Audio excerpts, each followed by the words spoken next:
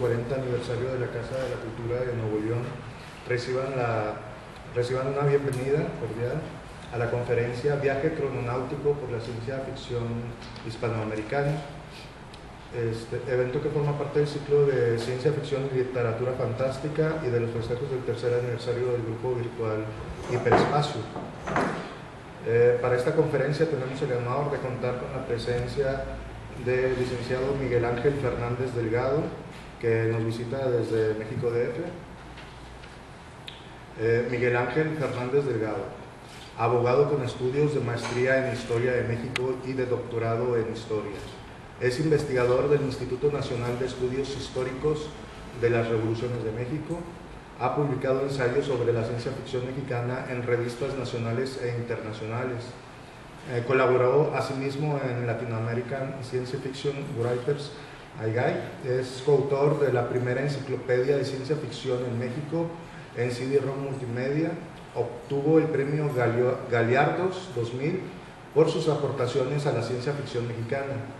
Fue presidente de la Asociación Mexicana de Ciencia Ficción y Fantasía de 2002 a 2006. Es también autor de ciencia ficción mexicana siglo, siglo XIX, Visiones Periféricas, Antología de la Ciencia Ficción Mexicana, eh, Lumen 2001, y Tecnología y Ciencia Ficción, Engranajes ficticios para máquinas irreales, aunque no imposibles, de la editorial académica española Saarbrücken, Alemania 2012 desde 2008 es curador de la colección especial de ciencia ficción en español de la Biblioteca de la Universidad del Sur de Florida, de la cual además es investigador asociado. Demos una cordial bienvenida a Miguel Ángel Fernández de Muchas gracias. Gracias a, pues a las autoridades de, de esta Casa de la Cultura, a Fernando Galavis por su invitación todos ustedes por estar aquí presentes y pues es realmente muy halagador. Le decía yo a Fernando que desde el 2006 no, no tenía el gusto de estar por aquí en, Monterrey y regresar con ya con eh, sabiendo que eh, todo lo que ha hecho Fernando, todo lo que se ha publicado, todos los autores que viven aquí, mis amigos eh, Luis García, Jorge Chipuli, aunque me dicen que ya no vive aquí, Jorge Chipuli, Fernando Ávila también que pues cuando nosotros comenzamos, cuando nosotros empezábamos a hacer las primeras, los primeros intentos por escribir, por darnos a conocer, por investigar, pues realmente no había nada y siempre nos veían con escepticismo, pero ahora me da mucho gusto y es precisamente con eso vamos a, partir en esta conferencia, cómo en, en apenas unas cuantas décadas el panorama ha cambiado radicalmente y como hemos tenido la oportunidad de, estar en contacto con escritores de otros países latinoamericanos, bueno, hispanoamericanos también de, España y Portugal, y nos damos cuenta que la historia que se repite, si ese patrón de seremos nosotros los, los, únicos raros que escribimos y nos gusta la ciencia ficción, eh, seremos los únicos con problemas para publicar, la misma historia he escuchado desde México hasta Argentina, incluyendo España y Portugal, la misma historia. es, que, es que creen que si escribimos ciencia ficción es porque somos gente con, no sé, que somos trastornados o que nadie nos, o somos desadaptados, desarraigados sociales o, venimos, somos gente que viene del extranjero aquí y trae costumbres del, foráneas.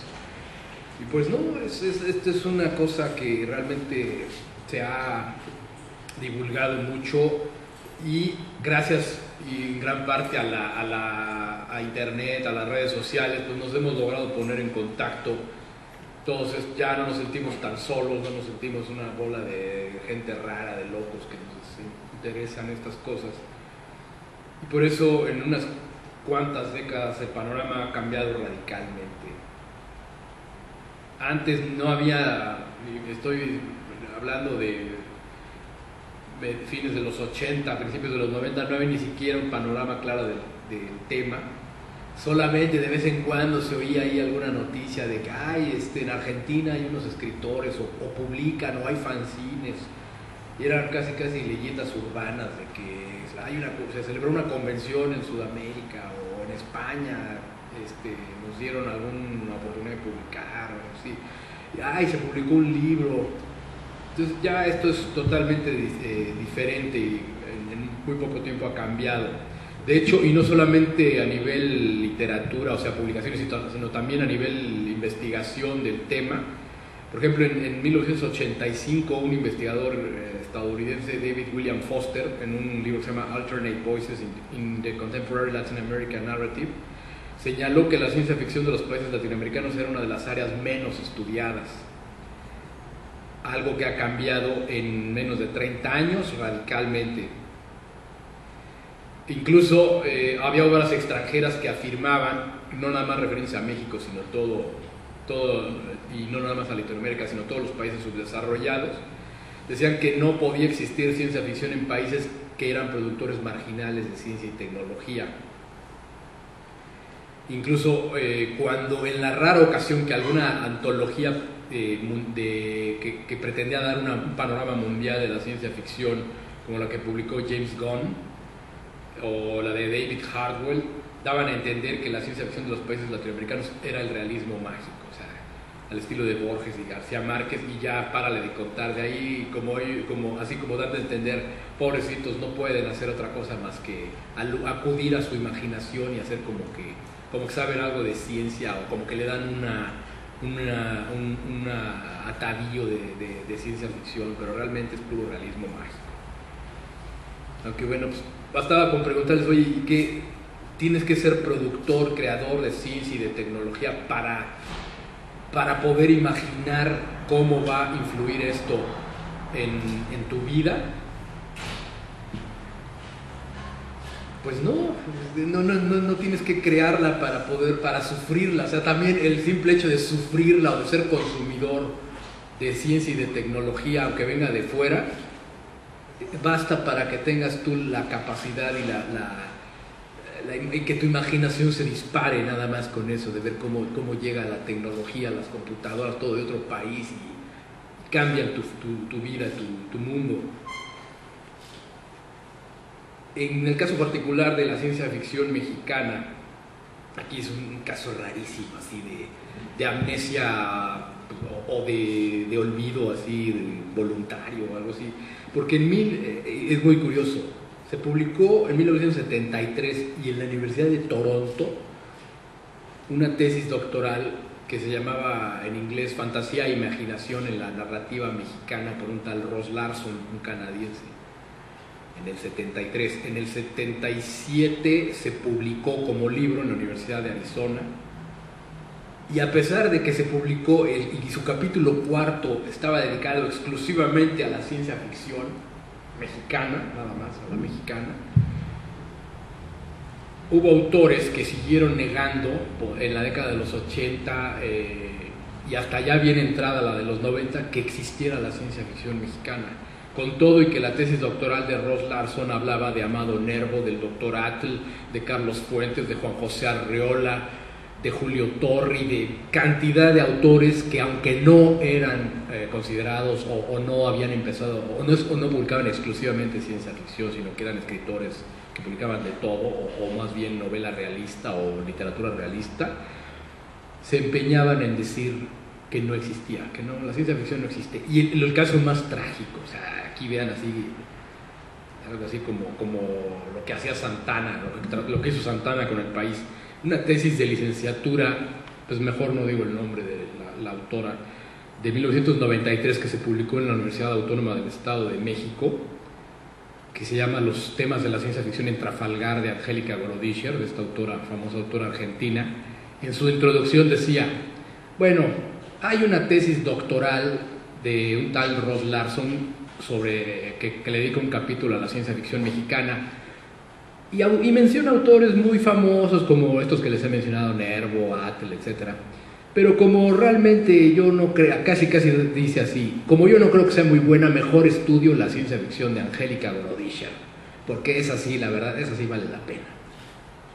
Y gracias a este libro que cayó en mis manos por casualidad, me enteré que existía la tesis de Ross Larson, entonces moviendo ahí mis contactos, conseguí la tesis y bueno, oh sorpresa, hay toda esta ciencia ficción se ha escrito desde el siglo XVIII, finales del siglo XVIII en México, y nosotros ni cuenta, y todavía a finales de la década del 90, les decía, eh, había una persona que daba un taller de cuento de ciencia ficción ahí en la Universidad del Claustro de Sor Juana, en el DF, tampoco voy a decir el nombre, se dice el pecado y no el pecador, que decía, no, la ciencia ficción, solamente desde luego su curso era de pura ciencia ficción estadounidense y algo de inglesa y algo de francesa pero la mexicana para él no existía. Y cuando tomó el curso con él una, la esposa de un autor de Gerardo Porcayo, y, cuando volvió a decir, no, la ciencia ficción mexicana no existe, digo, oiga, pues cómo no, yo estoy casado con un escritor de ciencia ficción mexicana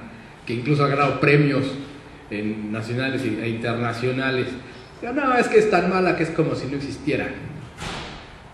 Entonces, bueno, yo no sé si había un afán de plano así, ay, nosotros así como el fútbol o algo así, nada, nosotros tenemos presencia, pero no, no, la hacemos o algo así, no.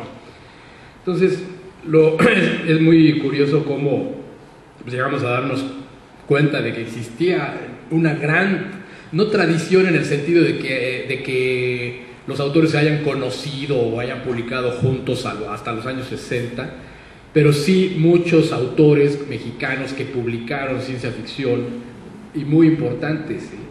Eh, y no solamente porque hayan publicado como Nervo, famoso poeta, no, sino porque también la obra que escribieron de ciencia ficción es muy valiosa. Y antes de, de, dar este panorama hispanoamericano, no voy a hablar mucho de la ciencia ficción mexicana porque de por sí el tema es muy amplio solamente eh, algunas relaciones que ha habido entre, entre contactos entre autores de México y Estados Unidos, pero quiero comenzar con un panorama muy, muy rápido, histórico, porque también muchas veces se olvida las raíces tan antiguas que tiene, incluso más antiguas que en el mundo anglosajón en muchos casos. Por ejemplo, este texto que ven aquí, pero no es el original, lo saqué de un libro donde se reproduce el texto original, es una real cédula de 1778, en donde el rey español, todo en plena época colonial, a finales de la época colonial, que eh, no sé si se alcanza a ver, pero bueno, se los leo, está avisando el rey español que ha pasado, o se enteró que pasó a las, a, las Indias, como se llamaba hasta las Indias Occidentales, un libro que se llama El año 2440, una obra de protociencia ficción, que en ese entonces no se sabía quién la había escrito, se publicó anónima en su primera edición, pero es de un francés, se, llama, se llamaba Louis Sébastien Mercier. No es una gran obra así de ciencia ficción, la verdad es una obra muy aburrida, pero lo curioso es lo que dice la cédula que no quería que pasara este libro porque decía que hay que recordar que bueno, los, los reyes españoles eh, en la época, a pesar de que eran ya de la, en la época de las luces, no querían que estas ideas, sobre todo las que desencadenaron la Revolución Francesa, llegaran a, ni a la península ibérica y mucho menos acá. Entonces, como este libro trata sobre una persona que se duerme, se queda dormida en el año 1770 y se despierta en el año 2440, así como Rip Van Winkle, cuando ya se hicieron realidad todo lo que está planteando, eh, todo lo que plantearon los, los filósofos de la revolución, perdón, de ilustrados, que se harían o empezarían a hacerse realidad con la Revolución Francesa, así de gobiernos democráticos, republicanos, adiós a los reyes, eh, hay que votar por, para que nos gobierne el, más capaz y no cualquier idiota que llegue a heredar el trono. Todo esto decía que era un, eh, este libro no podía pasar porque estaba hablando precisamente de eso. El autor no le, no le importaba mucho la tecnología, nada más hablaba de que se hicieran realidad las ideas políticas de los filósofos ilustrados. Él no, no llega a imaginarse nada. Sí se imagina incluso un, monumento a un esclavo, que este fue el primer esclavo, es él, se inventa el nombre de un esclavo, que se el primero que se rebeló contra la opresión y por eso le, hicieron un monumento. Era un, esclavo haitiano, si mal no recuerdo. Pero el caso es que la corona española tenía mucho miedo de que llegaran estos libros con estas ideas. Incluso hay una real cédula, eh, este libro también llegó a México, no se sabe quién lo tuvo, pero sí están en, el Archivo General de la Nación las reales cédulas que dicen que esta obra era considerada la obra más impía que jamás se había escrito, sin nada por, no porque hablara de sexo ni de o negara la existencia de Dios ni nada, sino por el simple hecho de negar el derecho divino de los reyes. ¿sí?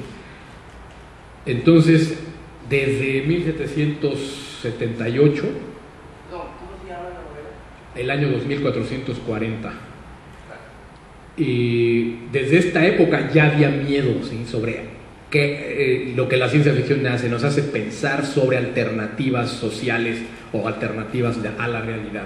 Entonces, esto era muy eh, temible eh, para, desde esa época. Bueno, esta es la portada, bueno, la primera página que no tiene portada, del primer cuento mexicano de ciencia ficción de Fray Manuel Antonio de Rivas, Las Isigias y Cuadraturas Lunares, que ahí es el es un es dentro de un los tomos está dentro de un tomo de la, eh, de la Inquisición.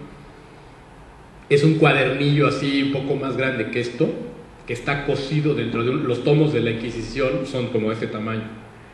Y entonces es un cuadernillo que está cosido dentro de, de uno de esos tomos porque era la prueba de lo que por la cual acusaron a Fray Manuel Antonio de Rivas de ser también creyente en estas ideas de la ilustración porque él menciona a Newton, menciona a Descartes, menciona eh, gobiernos en, donde ya no, ya no hay reyes y no hay eh, gobernadores votados y electos.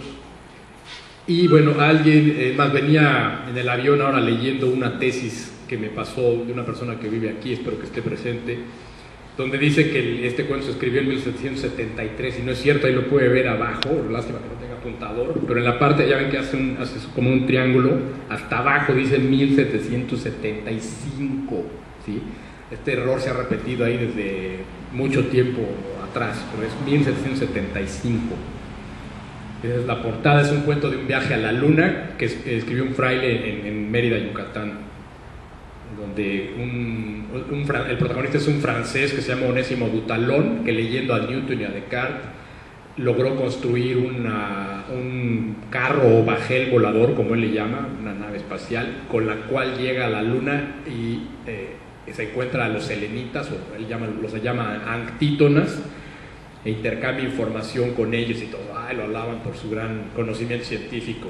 lo sorprendente es que le dicen, ay, ya habíamos recibido sus cartas desde antes, ahora nos da mucho gusto recibirlo en persona. Entonces, ¿cómo llegaban las cartas si nunca había habido, llegado nadie a, la luna? ¿no?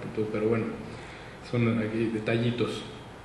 Este es la portada del segundo cuento mexicano en ciencia ficción que se publicó en el Diario de México en 1810 en dos partes, el 9 y el 29 de febrero. Esta es la primera parte, la segunda creo que se mal el 29 de febrero de 1810. Es anónimo, hasta abajo si ustedes alcanzan a, leer, dice, bueno, este, este diario lo publicaban, era, el editor era Jacobo de Villaurrutia, que era un criollo nacido en dominicano que había venido a vivir a la Nueva España, y a pesar de que era criollo lo habían admitido, había logrado por sus propios méritos entrar a la audiencia de México, que era un bastión de los españoles, pero él había logrado entrar.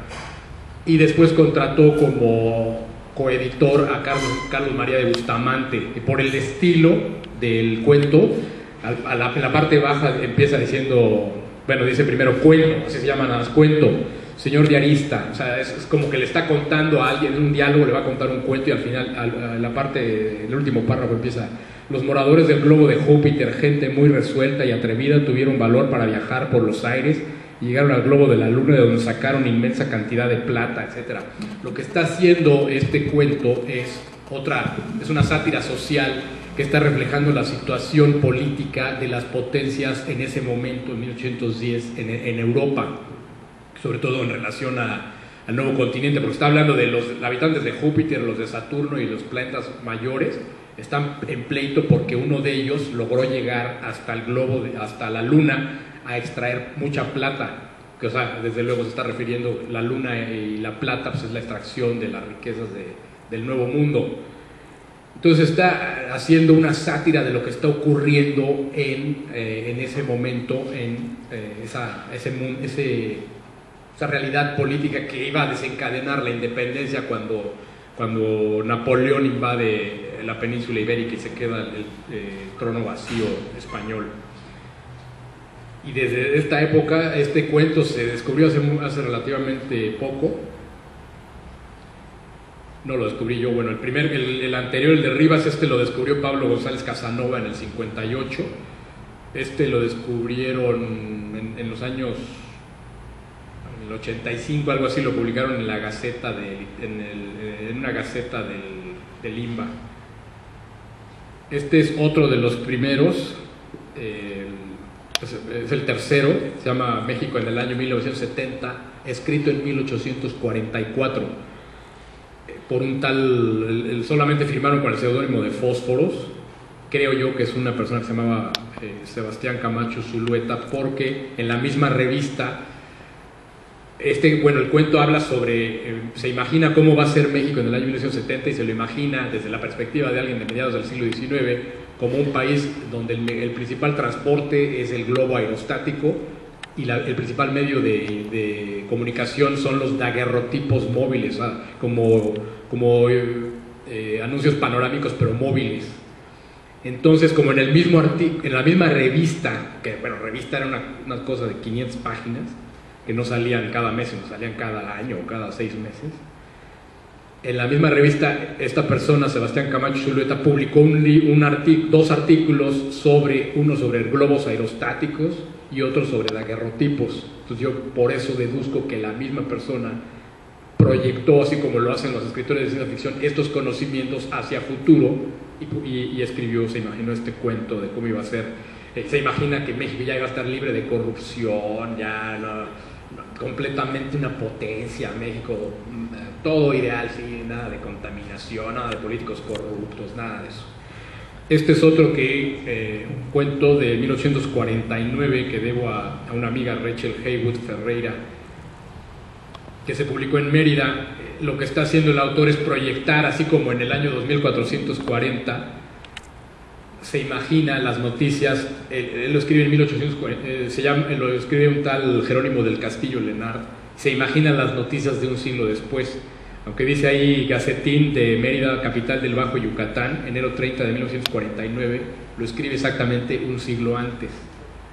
Y también se imagina eh, un mundo poblado por globos aerostáticos, por eso empieza el globo nacional Iturbide que descendió hace pocos instantes en esta capital, procedente de New London, en la parte inglesa de la isla de Cuba, con escala en la ciudad de San Telmo, Alacrán, nos ha traído periódicos de aquella parte del mundo, cuyas fechas alcanzan al 24 del actual. Y sí, es una nota, habla ahí de, también ya se imagina, hay que recordar que en esta época Yucatán se quería separar de, del resto de la República Mexicana, sobre todo también por los problemas que había y la guerra que había con los Estados Unidos. Y, dijeron, ah, pues ahora es el momento, ya tenían ganas, pues de una vez vamos a separarnos. Entonces también se imaginan a, la ciudad de, bueno, toda la península yucateca ya como una potencia y un país independiente. Bueno, antes de hablar de las... Eh, bueno, estos son, decía, antecedentes no puedo hablar de los antecedentes de todos los países porque solo de algunos de ellos conozco.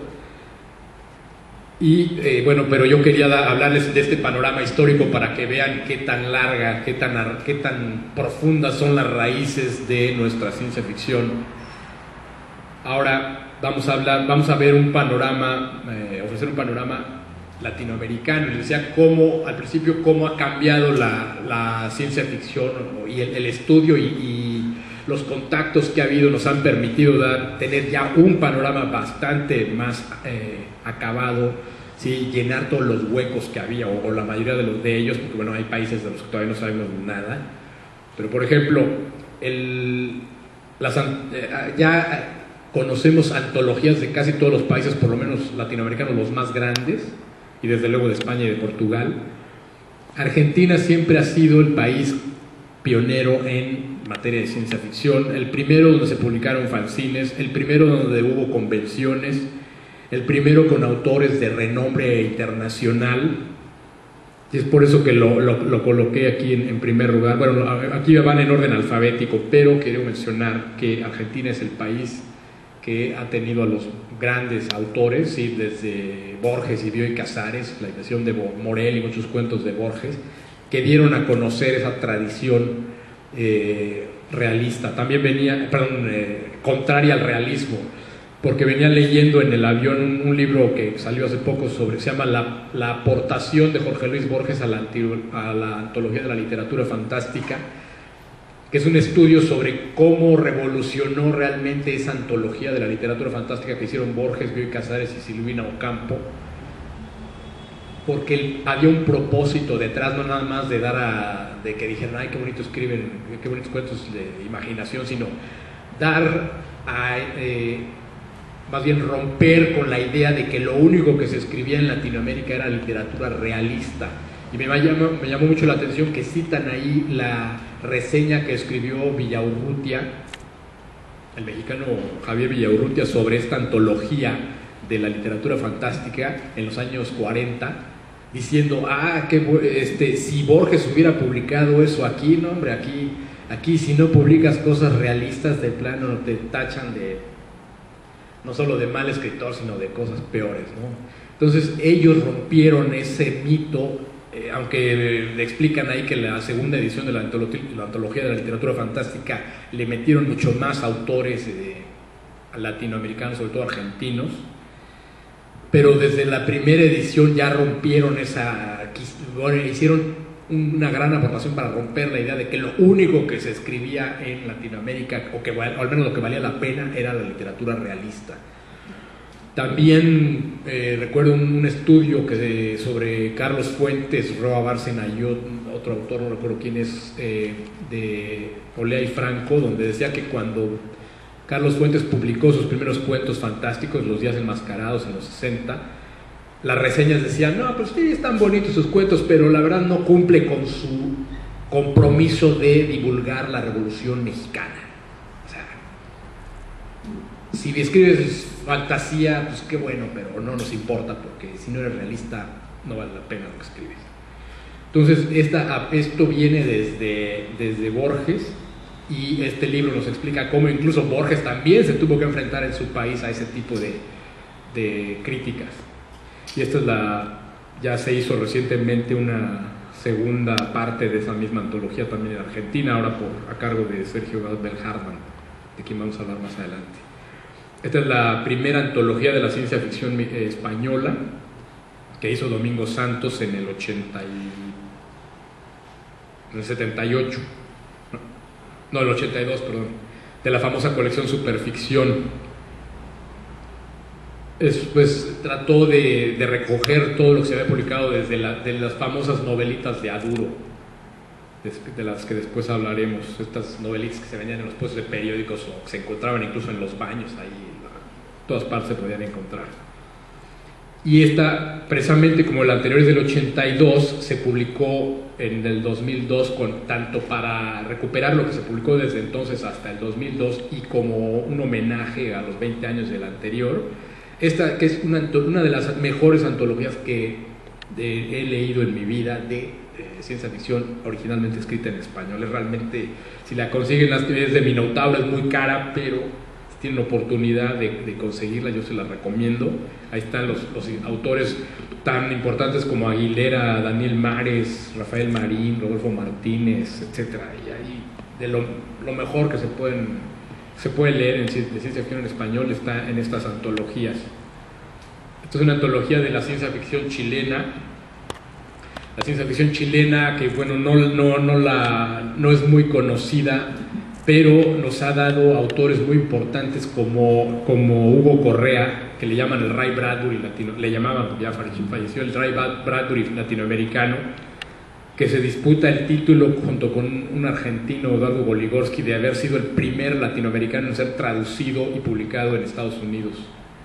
Y aquí, bueno, hay, hay autores muy importantes como Sergio Meyer Frey, autor de una novela que se llama La, la segunda enciclopedia de, perdón, una novela, sí, la segunda enciclopedia de Tlón, o Jorge Baradit, que es actualmente el principal escritor chileno de ciencia ficción.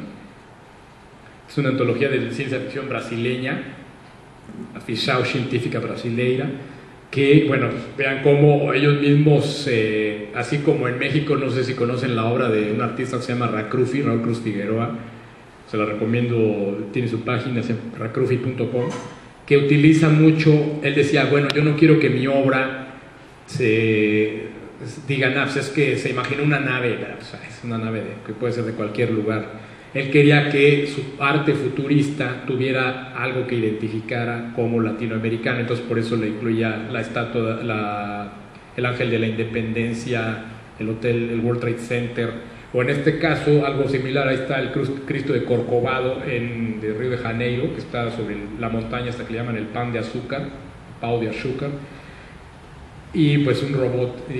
La ciencia ficción brasileña tiene la peculiaridad que es muy, muy tiene una cantidad de publicaciones, vamos a hablar un poco más adelante de ella, tiene un fandom muy activo y una cantidad de escritores muy entusiastas e incluso yo me sorprendió ver que todos o la mayoría leen español, ¿sí? leen, literatura en español e incluso la primer colección especializada en ciencia ficción o bueno, en literatura fantástica en general está en Sao Paulo, Brasil. Esta es una antología portuguesa. Eh, Portugal, sí, es, es curioso que no tienen ellos mucha... Ellos, e, esta antología, aunque es portuguesa, publicada en Lisboa, la mayoría de los autores son o, brasileños o son del norte de África. Porque, no sé, los, escritores portugueses, cuando hablemos de, ese país en Portugal, eh, de ese país en particular, no, no, no, publican mucho y además me contaron que tuvieron algún tiempo mucha, publicaron mucho, pero de repente se empezaron a morir todos los, como que una generación se perdió y ahora son puros jóvenes los que publican.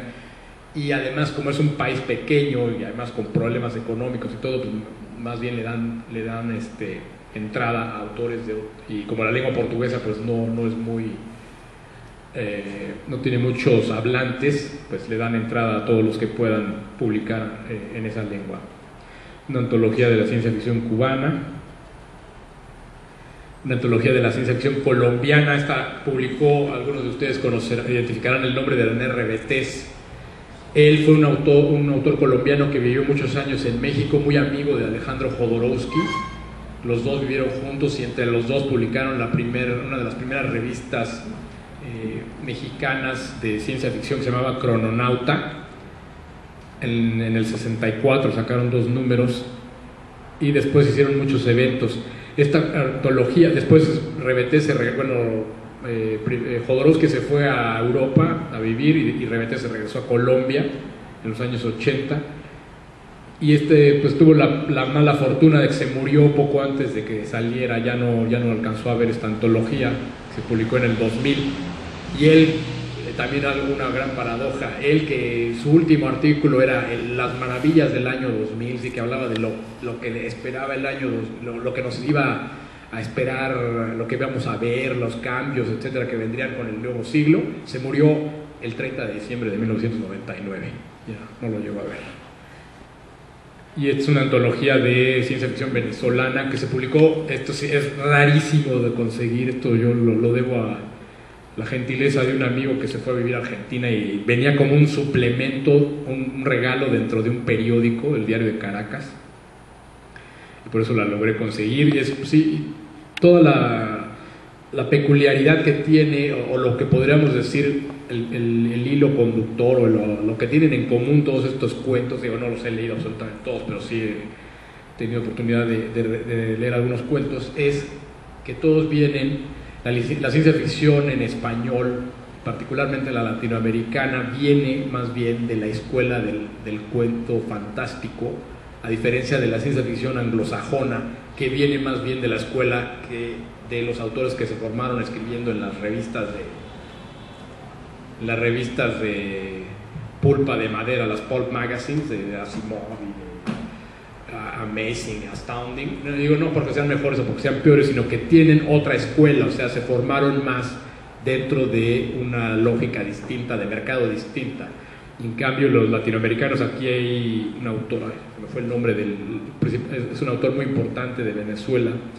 Son cuentos totalmente al estilo borgiano o cortasariano, eh, García Marquesiano, de, ese, de, ese, de ese estilo de cuentos pero con alusiones al futuro, con alusiones a, robots, a viajes al espacio, etc. Vamos ahora a ver por países, por orden alfabético. Bueno, les decía que Argentina pues, es la pionera, es la que, la que se ha adelantado siempre en todo y la que más ha producido también, bueno, junto con España, de las, la que más, en, todos los países hispanoamericanos, la que mayor producción tiene. En un viaje que tuve oportunidad de hacer el año pasado a Argentina, me sorprendió mucho que en, puestos de periódicos, perdón, no de periódicos, en estos puestos que hay, así como aquí en, la calle, que venden libros, pero libros nuevos, veía yo esta edición, pero era una edición pequeña. El Eternauta originalmente, bueno, los que no saben, el Eternauta es la historieta más famosa de ciencia ficción de Argentina. Incluso esto, bueno, algo muy curioso, antes de regresar al Eternauta les contaré brevemente esto. Algo todavía más curioso que el Eternauta es que en, Buenos Aires permiten a los turistas los domingos que se metan a la Casa Rosada, que es como la Casa Blanca o los Pinos de aquí, se metan a visitarla. Digo, no, no, que se metan a donde se les pegue la gana, sino hay un guía que los lleva a visitar la Casa Rosada donde está la presidenta Kirchner. Y hay, una, hay un pasillo donde están los personajes más famosos de, claro, de ficción de Argentina, Mafalda, y esto, y ahí me dio mucho, me llamó mucho la atención encontrarme al Eternauta. El Eternauta es un personaje creado por Héctor Germán Oesterheld, un argentino que, eh, bueno, tiene la, se empezó a publicar en los años 50, a mediados de los 50, que es sobre una, una muy curiosa invasión extraterrestre que tiene lugar. Están unas personas, unos aficionados así como en una tertulia en una casa de uno de ellos, de este, del que se va a convertir en el Eternauta, y empieza a caer unos copos que parecen copos de nieve, como los que se ven ahí que están alrededor del Eternauta, y se dan cuenta que son, es algo radiactivo o algo que tiene veneno y empieza a morir toda la gente. Entonces ellos cierran la, la, casa y se, se dan cuenta que esa nieve o esa cosa que está cayendo sobre Buenos Aires es letal. Entonces se las ingenian para inventar un traje para poder salir a ver qué es lo que está sucediendo y por eso, como ellos eran muy aficionados, además de la ciencia ficción y todo esto, al, modelismo y a, fabricar cosas en casa, al, do it yourself, se inventan este traje para que no se envenenen con, la, con, la, con esta nevada radiactiva o lo que sea, o venenosa y así sale el Eternauta a darse cuenta que es, una, es el inicio de una invasión extraterrestre eh, sobre Buenos Aires, bueno, sobre todo Argentina, y él empieza a combatir a ellos y por algún por azares del destino lo van a mandar a otra dimensión por eso se va al, éter se va a convertir en el eternauta. Y me dio me llamó mucho la atención que vendieran les decía esta edición en los puestos de, de, libros en la calle. Esto que dice abajo, edición especial literatura complementaria, le llaman así en Argentina a, los libros de texto o los libros de apoyo para las escuelas. Pues esta es una edición especial porque la edición original, el Eternauta, que salió recién, hace como 10 años, es de este tamaño, pero esta es una edición así casi de bolsillo, completo, trae la primera edición, de eh, primera eh, libro del Eternauta, porque luego salieron otros dos ya medio chafas, pero este es, este es muy bueno. Y es un libro para las escuelas, que incluso al final trae una sección de preguntas de comprensión y todo, pero es, es una historieta, o sea, no es un libro, no es, literatura, es, una historieta, muy bien hecha todo el libro Los dibujos de Solano López, que, y tiene además, es algo eh, muy simbólico eh, porque por dos motivos. Porque Oesterheld fue desaparecido durante la dictadura argentina, por él, pues no era muy activo eh, opositor al régimen, a la dictadura, pero sus hijas sí lo eran.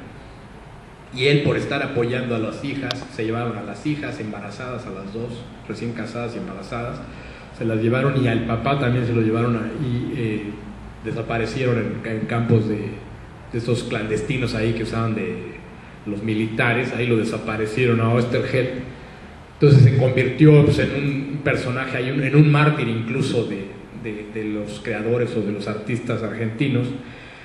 Y bueno, además en Argentina todavía había un museo, eh, bueno, era una muestra temporal con motivo del bicentenario de su independencia, que también comenzó en 1810 como aquí. Y me encontré esta imagen del Eternauta, pero dije pues, que está medio rara la cara el Eternauta. Dije, pues, yo primero lo compré y dije, pues, no sé, el escultor no sería muy bueno, no sé. Pero ya luego si se quedan viendo, dije, pues se parece a alguien, pero no sé a quién. Pues es, es la cara de Néstor Kirchner, el, el expresidente de Argentina, porque lo, como ya murió, lo asocian, no todos, pero sino los, partidarios de, Cristina Kirchner, dicen que desde el, más allá, así como el Eternauta, le sigue dictando a, Cristina Kirchner lo que debe hacer, ¿no? Por eso le, lo asocian a él con el Eternauta, y pues había libros ahí que salía el Kirchner, más bien el Eternauta con la cara de Kirchner ahí, hablando, oh, el Eternauta nos sigue cuidando desde el más allá. Pero en fin, digo, bueno, pues, sea, la cara de Kirchner, que no, muy, no era muy agraciado, pero pues, bueno, yo este gusto pues, no, no lo voy a conseguir en ninguna otra parte.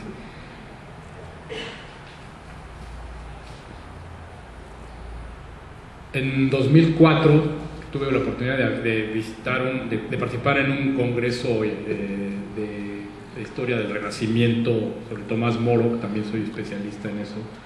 Pero aproveché para ir a, a, en Buenos Aires a saludar por primera vez en la foto, es la única que tengo, está muy mala la foto, pero es la única que tengo.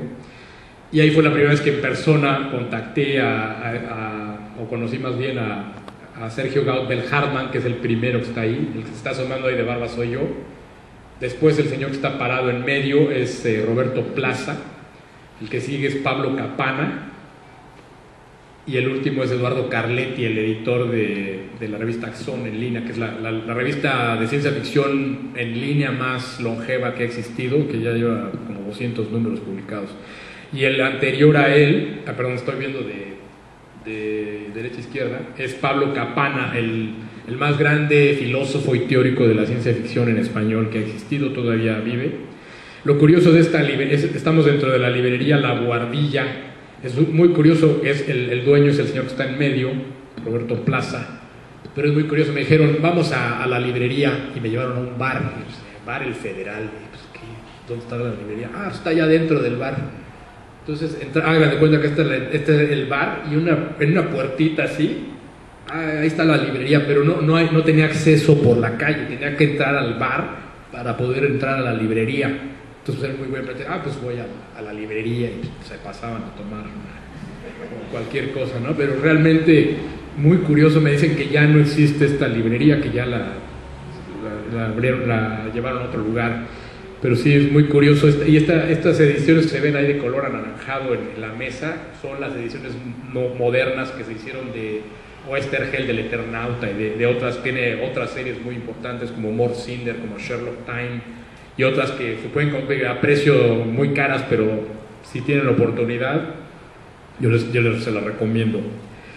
Este es un libro de Carlos Gardini. Eh, para mí, el escritor. Eh, en nuestra lengua más importante que hay en la actualidad. Es un escritor que se dio a conocer por algo muy curioso. A principios de los años 80 se convocó ahí en la Argentina un, un, concurso de cuento, no de cuento de ciencia ficción, un concurso de cuento, así en general, manden el cuento de lo que quieran, y él ganó el primer lugar con un cuento de ciencia ficción y además el presidente del jurado era Jorge Luis Borges y él ganó el primer premio con un cuento que se llama Primera Línea, saltó de inmediato a la fama y es realmente un escritor, también tuve la oportunidad de conocerlo, muy, es una gran persona, además un gran escritor, que ha ganado el premio UPC, o sea, de la Universidad Politécnica de Cataluña, Cataluña, no recuerdo si en dos o en tres ocasiones, con todo y que es un premio uh, internacional donde concursan, o sea, contra escritores de Estados Unidos, de Canadá, de Europa y de toda Latinoamérica, él ha ganado tres veces el premio, con todo y que es un premio que apenas empezó en 1991. Entonces es un gran, gran escritor, y además su, su estilo, su sus temas son, este, este libro es realmente muy bueno, tiene otros, eh, el libro de las voces, o sus antologías de cuentos, Mi cerebro animal, todos, muchos de ellos. Esta es una foto de una convención eh, que se llama Rosario Fantástica, que se celebró en la ciudad de Rosario el año pasado. Ahí, entre otros, la mujer que, está, que tiene el micrófono es, se llama Laura Ponce, ella es editora de una revista que se llama Próxima, Eh, los demás que están ahí en la mesa no recuerdo sus nombres, pero los dos últimos hacia, hacia el extremo son eh, Luis Pestarini, que también edita la revista Coazar y es la máxima autoridad en ciencia ficción argentina, y el último es Eduardo Carletti, el, que ya les había mencionado, autor de la, perdón, el editor de la revista Axon. Y bueno, un incidente que hubo ahí en plena convención, que trataron de secuestrar a uno de los ponentes ahí, estas personas. Después nos fuimos a tomar ahí una, algún refrigerio ahí cerca de la convención, ahí estamos con Carletti, con Laura Ponce, con el hijo de Carletti y un autor ahí eh, que apenas estaba empezando a publicar. Bueno, en Brasil, les decía, Brasil es, es el lugar que tiene actualmente una producción que me, me sorprendió incluso llegar Primero darme cuenta que, bueno, yo tenía la idea de que no existía fuera de Estados Unidos y de Europa, que en, Barcelona y en la Universidad Politécnica de Cataluña hay una colección de ciencia ficción en la biblioteca, pero yo dije, pues en Latinoamérica no hay colecciones, pues sí, sí, me encontré una en Sao Paulo y me di cuenta que iban a celebrar una convención que hay ahí mismo en la biblioteca. Tuvieron el grandísimo detalle yo no sé de dónde sacaron, llegué yo a la convención, ahí en la misma biblioteca había una sección donde vendían libros y me voy encontrando esto, mi propia antología. ¿Y de dónde sacaron eso? Ah, no se preocupe, aquí la vendemos con mucho gusto. Dije, ah, pues qué buena onda, ¿no? Y realmente con eso me, me, fascinaron estas personas. Son además de gente agradabilísima, publican mucho. Es el único país de Latinoamérica que conozco donde todavía se publican fanzines al estilo antiguo de que yo los imprimo, los fotocopio en mi casa y los encuaderno. El único país que sé que los siguen publicando porque me los llegaron a regalar. Y mira, acaba de salir mi nuevo fanzine, te lo regalo. Y luego otra persona me dio otro y así.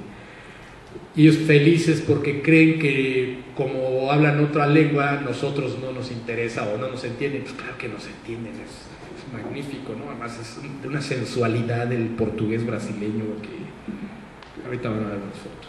Bueno, esta, esta es una antología que se hizo sobre el fútbol y ciencia ficción, con prefacio ahí de Tele Santana.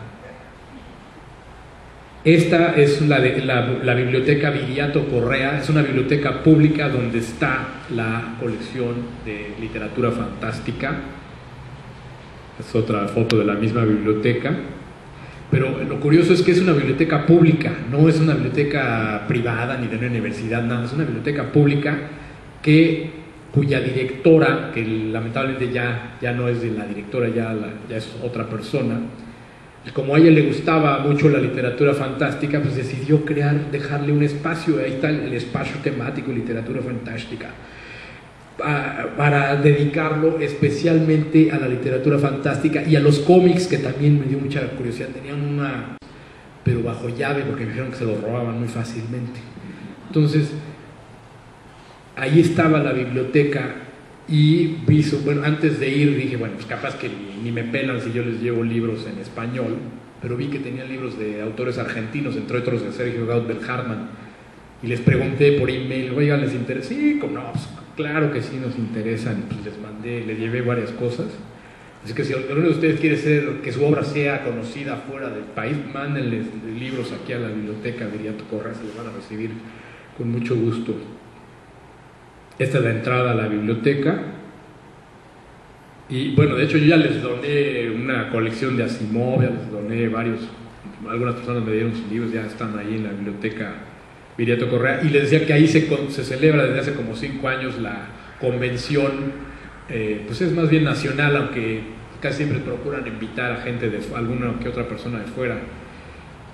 Eh, y tuve, la oportunidad de estar ahí presentes y dimos un panorama de la ciencia ficción mexicana con traducción simultánea eh, al portugués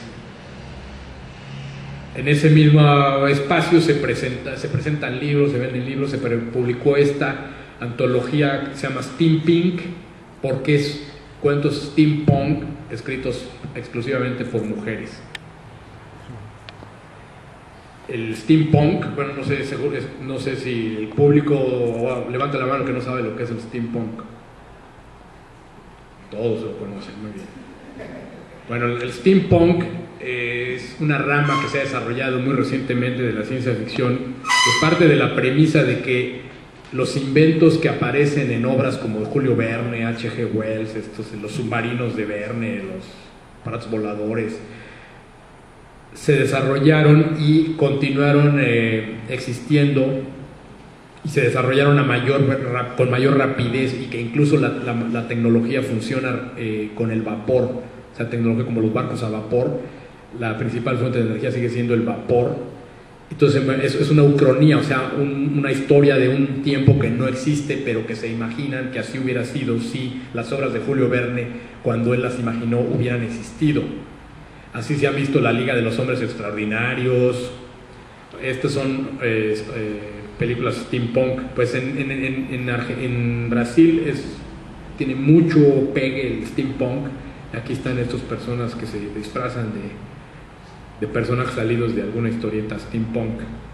Y bueno, decía que los, eh, los brasileños, bueno, las brasileñas más bien son encantadoras aquí, como Amanda Resnor que tuvo la gentileza de, autografiarme su libro.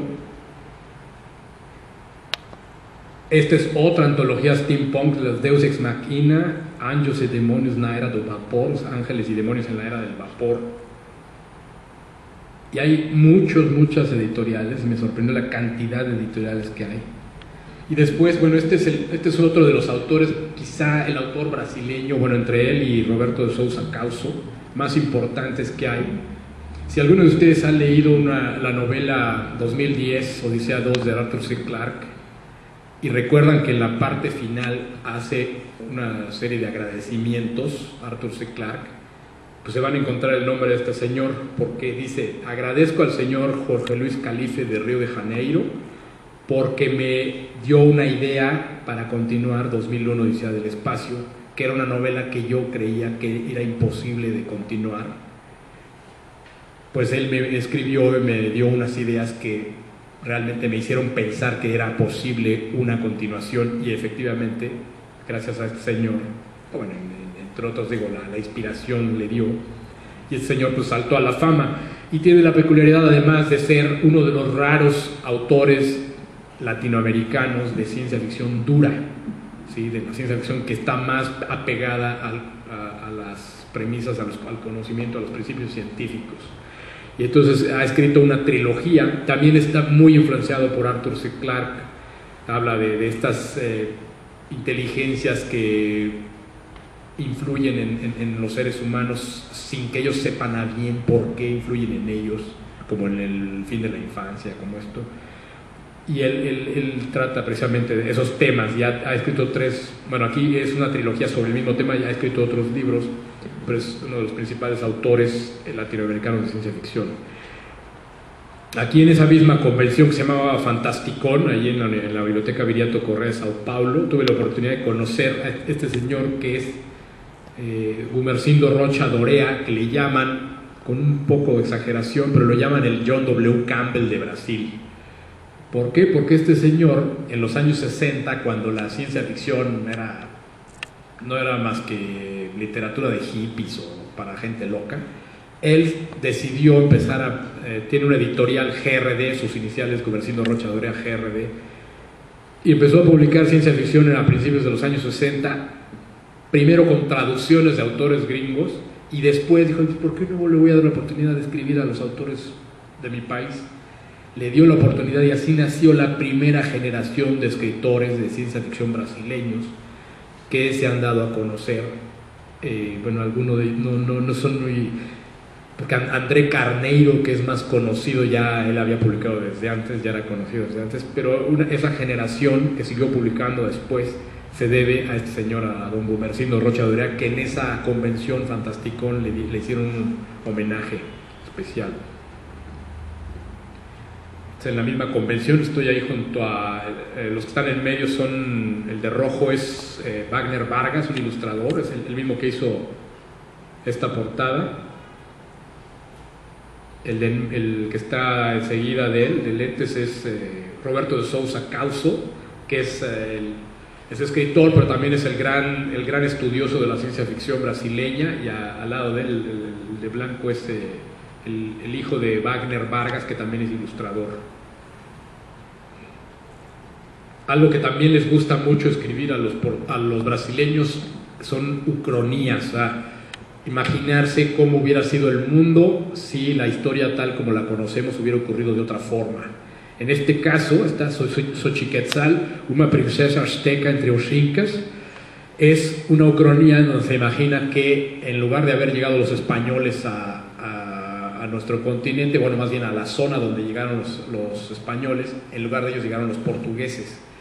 Y eh, esta princesa Xochiquetzal azteca huye cuando llegan los portugueses, huye y se va con los incas.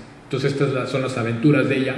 Lo que me llamó mucho la atención de este Gerson Lodi Ribeiro, un autor carioca, es que la parte final hace una cronología exhaustiva, pero así exhaustiva a más no poder de cómo fue la historia desde que los portugueses eh, llegaron y conquistaron eh, el territorio, el actual territorio mexicano. Aquí eh, está Roberto de Sousa Causo, y el otro, el, de naranja, es eh, Alfredo, Alfredo Luis Guimaraes Supia, es un, eh, autor, eh, más bien es un investigador especialista en cine de ciencia ficción brasileño, que, cuyos trabajos han sido reconocidos, incluso ganó un premio del Pilgrim Award que da la Sociedad de Estados Unidos de, de, de a los investigadores de ciencia ficción, la Sociedad Science Fiction Writers, eh, no, Science Fiction Research Association, la, ciencia, eh, la Sociedad de Estudiosos e Investigadores de la Ciencia Ficción, le dieron el año pasado un premio por sus investigaciones del cine brasileño de ciencia ficción. Brevemente, porque no hemos encontrado gran cosa, mencionaremos Centroamérica. Esta es la primera novela centroamericana de ciencia ficción pueden ver en la parte de abajo, es de 1899, se llama El Problema, y es algo muy curioso porque es escrita por un autor de Guatemala, pero publicada en Costa Rica, y que habla sobre el canal de Panamá. como en esas fechas estaba construyendo el canal de Panamá y había causado cantidad de problemas de salud, diplomáticos, de política, sociales y de todo tipo, este señor Máximo Soto Hall se imagina, es muy curiosa esta novela porque dice, bueno, pues los gringos, pues muchos les caen mal, pero la verdad no son tan malos. Imagínense cuando acabe el, canal vamos a tener tal, eh, vamos a hacer una potencia, vamos a tener mercancías de todo el mundo y, y ser muy felices con muchas cosas. Entonces como que trata de convencer de que el canal de Panamá no va a estar mal, tan mal, no, no va a traer tantos maleficios y los gringos no son tan mala onda. Entonces es una, rareza realmente. Esta es una antología de personal de un diplomático salvadoreño cuyo nombre verdadero no es ese que viene ahí. Se llamaba Álvaro Menéndez Leal, pero su nombre de pluma era Álvaro Menéndez Leal, que vivió también mucho tiempo en México y también aquí publicó mucho eh, eh, incluso es de los que llegaron a ser traducidos en la antología Cosmos Latinos, traducidos al inglés hace, que fue como el 2012, esa antología de Andrea Belli y Yolanda Molina Gavilán. Y esta, esta es una novela panameña muy curiosa porque, no porque sea la maravilla, sino porque ganó en un concurso de novela en general, no, no concurso de novela de ciencia sino concurso de novela ganó el Premio Centroamericano de Literatura Rogelio Sinán, que es un, premio realmente importante, bueno, al menos a nivel panameño, y se lo ganó una de las, curiosamente, en el prólogo dice, como aquí nunca habíamos sabido nada de, ciencia, de que nadie escribiera ciencia ficción, pues le vamos a dar el premio porque un panameño escribió ciencia ficción y es una novela pues no, no es tan, bueno, no, lo dicen así, pero dan a entender, no es tan buena, pero como es la primera novela panameña de ciencia ficción y pues no está tan, tan peor, pues la vamos, le vamos a dar el premio. Pero hay una, otro prólogo, hay dos presentaciones, uno de ellos habla una doctora en literatura que dice que la ciencia ficción no recuerdo si habla de las en Centroamérica o en, español en general o, latinoamericana, decía, ha pasado, gracias a novelas como esta, la ciencia ficción latinoamericana ha pasado de ser una curiosidad antropológica a ser ahora ya un arte o una rama literaria reconocida. O sea, yo me quedé, ¿por qué antropológica? O sea, ya ni siquiera, creo que era española la, doctora que escribió esto. O sea, era una curiosidad antropológica así, decir, miren, así un antropólogo, miren, e, esas personas que viven en el subdesarrollo escriben ciencia ficción, así, como, oh. Entonces, antropológica, o sea, ya no es una curiosidad antropológica y más en Centroamérica.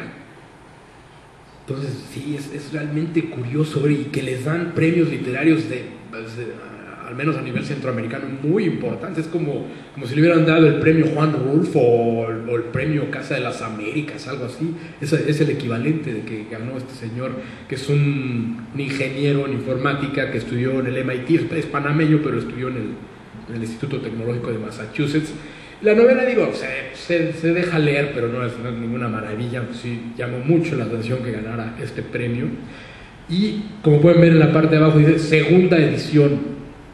Para que una novela de ciencia ficción latinoamericana llegue a su segunda edición, realmente tiene que pasar. o ya sea que el autor la pague, o, que gane un premio como este, porque y ya después le hizo una, una, no, ya es tetralogía, este señor le he seguido la pista, ha seguido publicando, continúa, ya, ya empezó a hacer la, primero dos que ocurren después, y luego empezó a escribir la precuela y así, y le ha seguido, pero parece que le, está yendo bastante bien a, a don Ramón Varela. De Chile les decía, bueno, no, aquí lo, que conozco es porque en otras convenciones fuera de Chile he encontrado he encontrado, he contactado eh, personas que se dedican a investigarla y han llevado libros que hemos intercambiado, pero no, no he tenido la oportunidad de estar presente.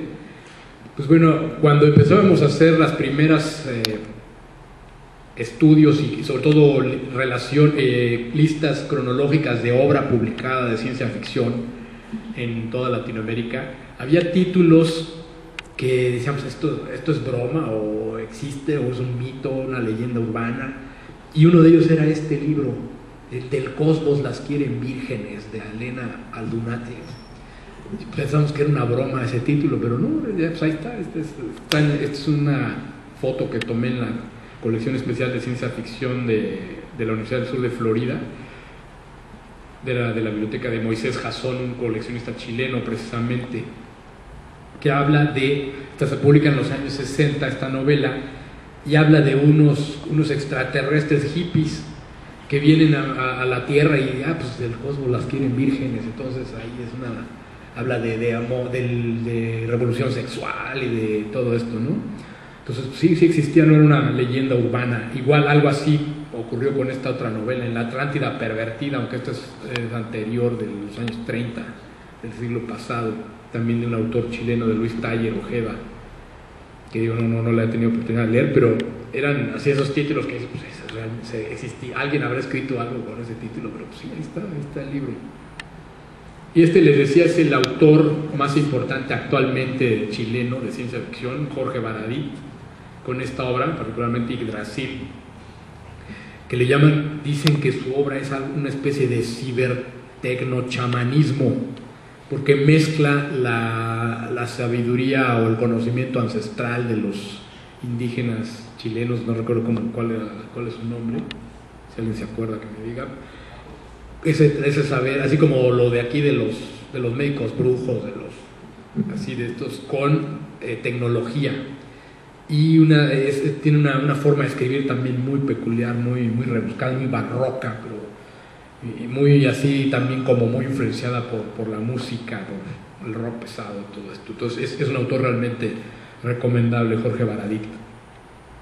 De Colombia tengo un gran amigo ahí, es este, el autor de esta obra que se llama El clon de Borges.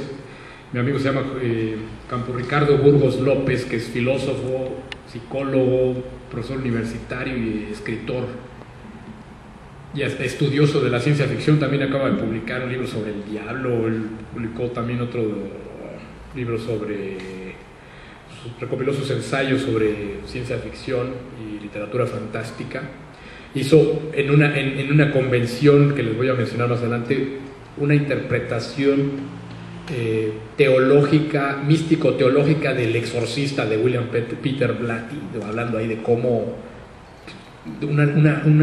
hizo una lectura teológica del exorcista, que está, está loco, bueno, había que leerlo para...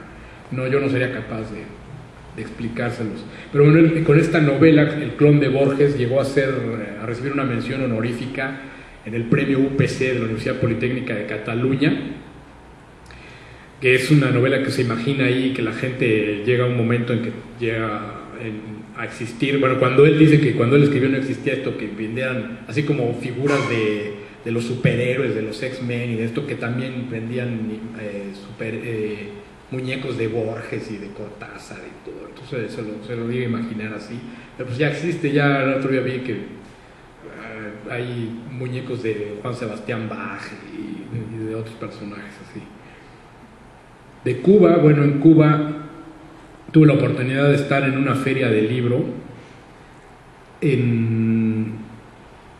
de entrevistarme con algunos autores como, como Joss, Joss eh, es W, perdón, Y, O, S, S, su nombre verdadero es Juan Miguel Sánchez, pero es un personaje muy curioso porque es, eh, es baterista de un grupo de rock, es escritor, es físico-culturista y viste como pirata y anda así en la calle vestido como pirata. Entonces llega una persona con, con las greñas por acá, con sus uh, aretes y traía algo, como estaba haciendo frío, algo muy, muy raro en Cuba, pues estaba haciendo frío y traía una manta así eh, y se diga, ah, esperen, me voy a poner mi manta, y se tardó como media hora en, amarrársela.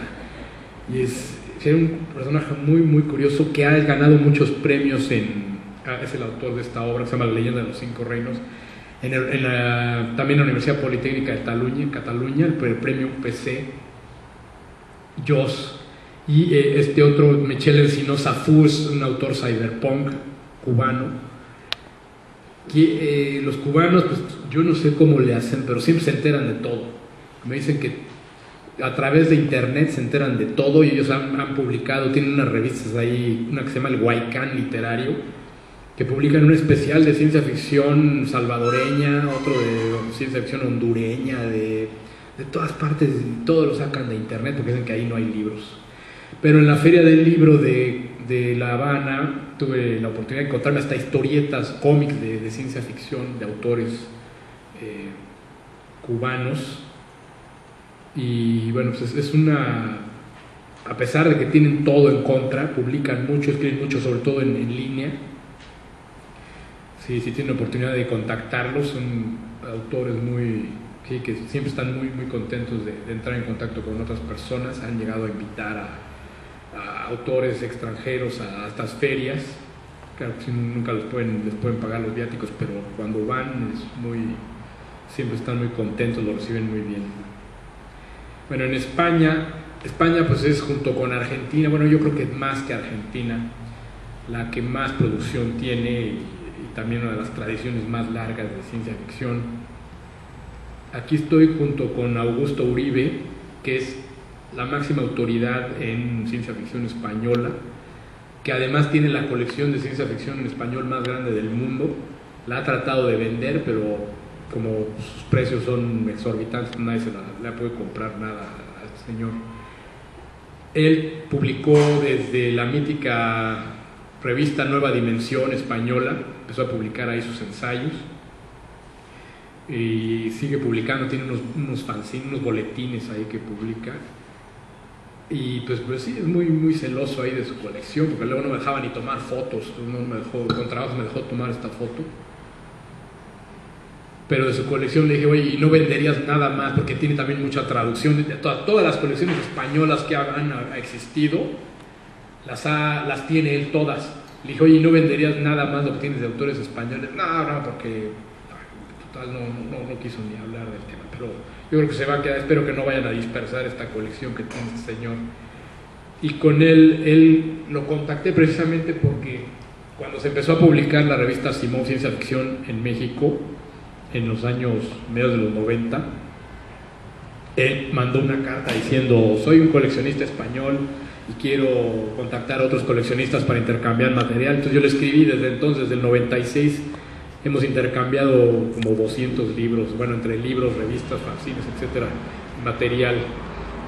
Eh, y no solo mexicano, sino latinoamericano, y él siempre también me enseña, eh, sí, tiene cosas muy, muy, muy raras, como tiene esta famosa ucronía que solamente yo había oído hablar de ella, una ucronía del siglo XIX que se imagina que Napoleón ha logrado conquistar toda Europa, en una edición de super lujo que él, por haberla presentado en España, con, en una, hasta en una caja dorada y todo, me, la enseñó ahí la, la edición que tenía que estaba evaluada como en 2.000 euros, una cosa así.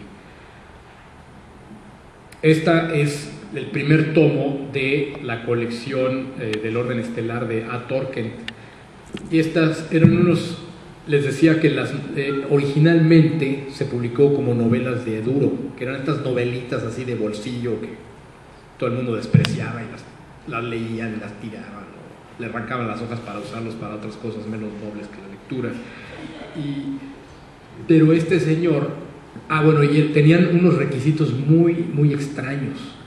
Se publicaron, empezaron a publicar en los años 50 y les exigían que publicaran con nombre, con seudónimos que parecieran extranjeros.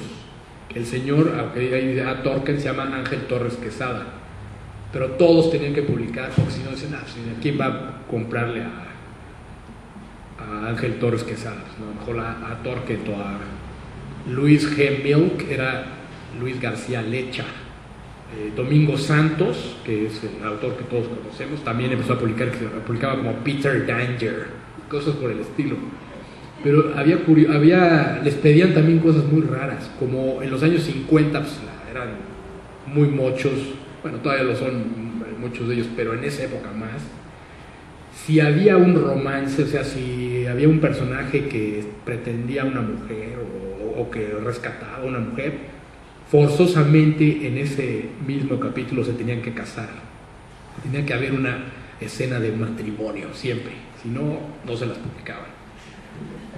Otro requisito era que no podían ser ir seriadas las novelas, o sea, no podían, esta es la primera parte de la saga de X, no, tenían que ser individuales pero lo que hizo este señor Ángel Torres Quesada, que es uno de los grandes escritores de, este tipo de literatura, es que empezó a imaginar una epopeya, pero ocultando que eran todo parte de una saga desarrollada a lo largo de muchos, muchos siglos y muchas generaciones y muchos planetas, muchas civilizaciones. Ya después le dieron la oportunidad como muchos lo recordaban todavía como el gran autor de este tipo de literatura, le, dieron le dijeron, oiga, ¿no te gustaría publicar tus libros, pero ahora sí, a tu gusto y con ediciones, del, bueno, no de lujo, pero por lo menos mucho mejores que esas novelitas de Aduro? Y dijo, ah, pues claro que sí. Entonces, como había algunos huecos que había que llenar, porque no, si no nos entenderían, escribió unas dos, tres novelas más, pero son 28 volúmenes y cada volumen trae dos novelas, por lo menos. Entonces son mínimo 56 novelas, que es la epopeya eh, o la, space opera más compleja que se ha escrito en español hasta ahora. Y eh, pues realmente vale la pena, es una, obra muy muy buena la de Ángel, Don Ángel Torres Quesada. Otra, otra curiosidad de estas novelas es que también al propio al propio Domingo Santos le llegaron a rechazar una novela, una o dos novelas por el argumento más raro que ustedes se pueden imaginar. Que le dijeron, no, mira, no te vamos a publicar tu novela que, porque había mandado a novelitas de Aduro. ¿Por qué? Porque son demasiado buenas, no las podemos publicar.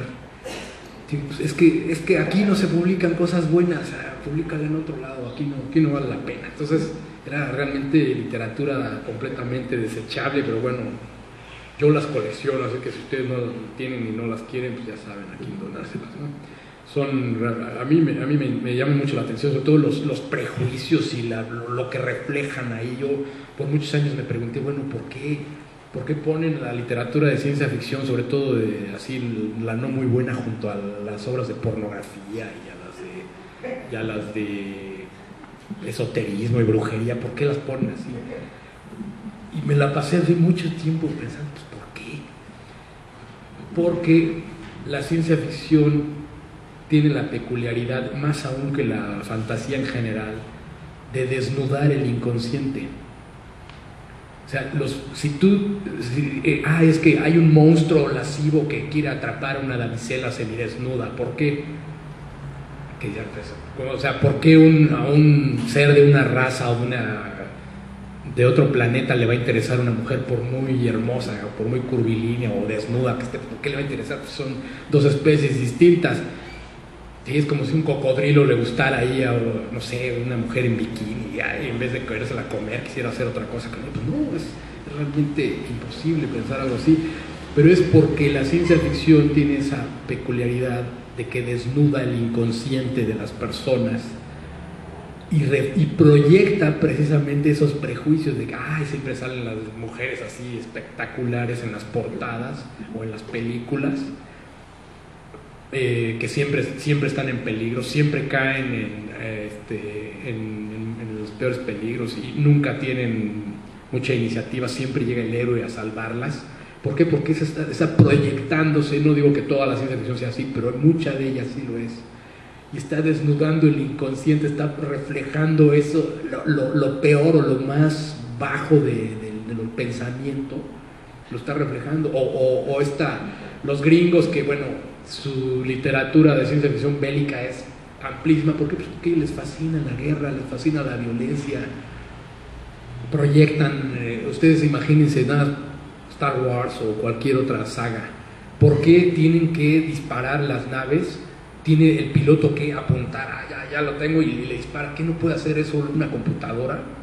Una, inteligencia artificial que con mayor precisión dispare y destruya el, el objetivo, porque tiene a llamar, ay, ya le fallé, la estrella de la muerte todavía no, al primer tiro no le di, no. ¿Es por? Porque están proyectando ellos mismos su fascinación por las armas, por la guerra, por la destrucción.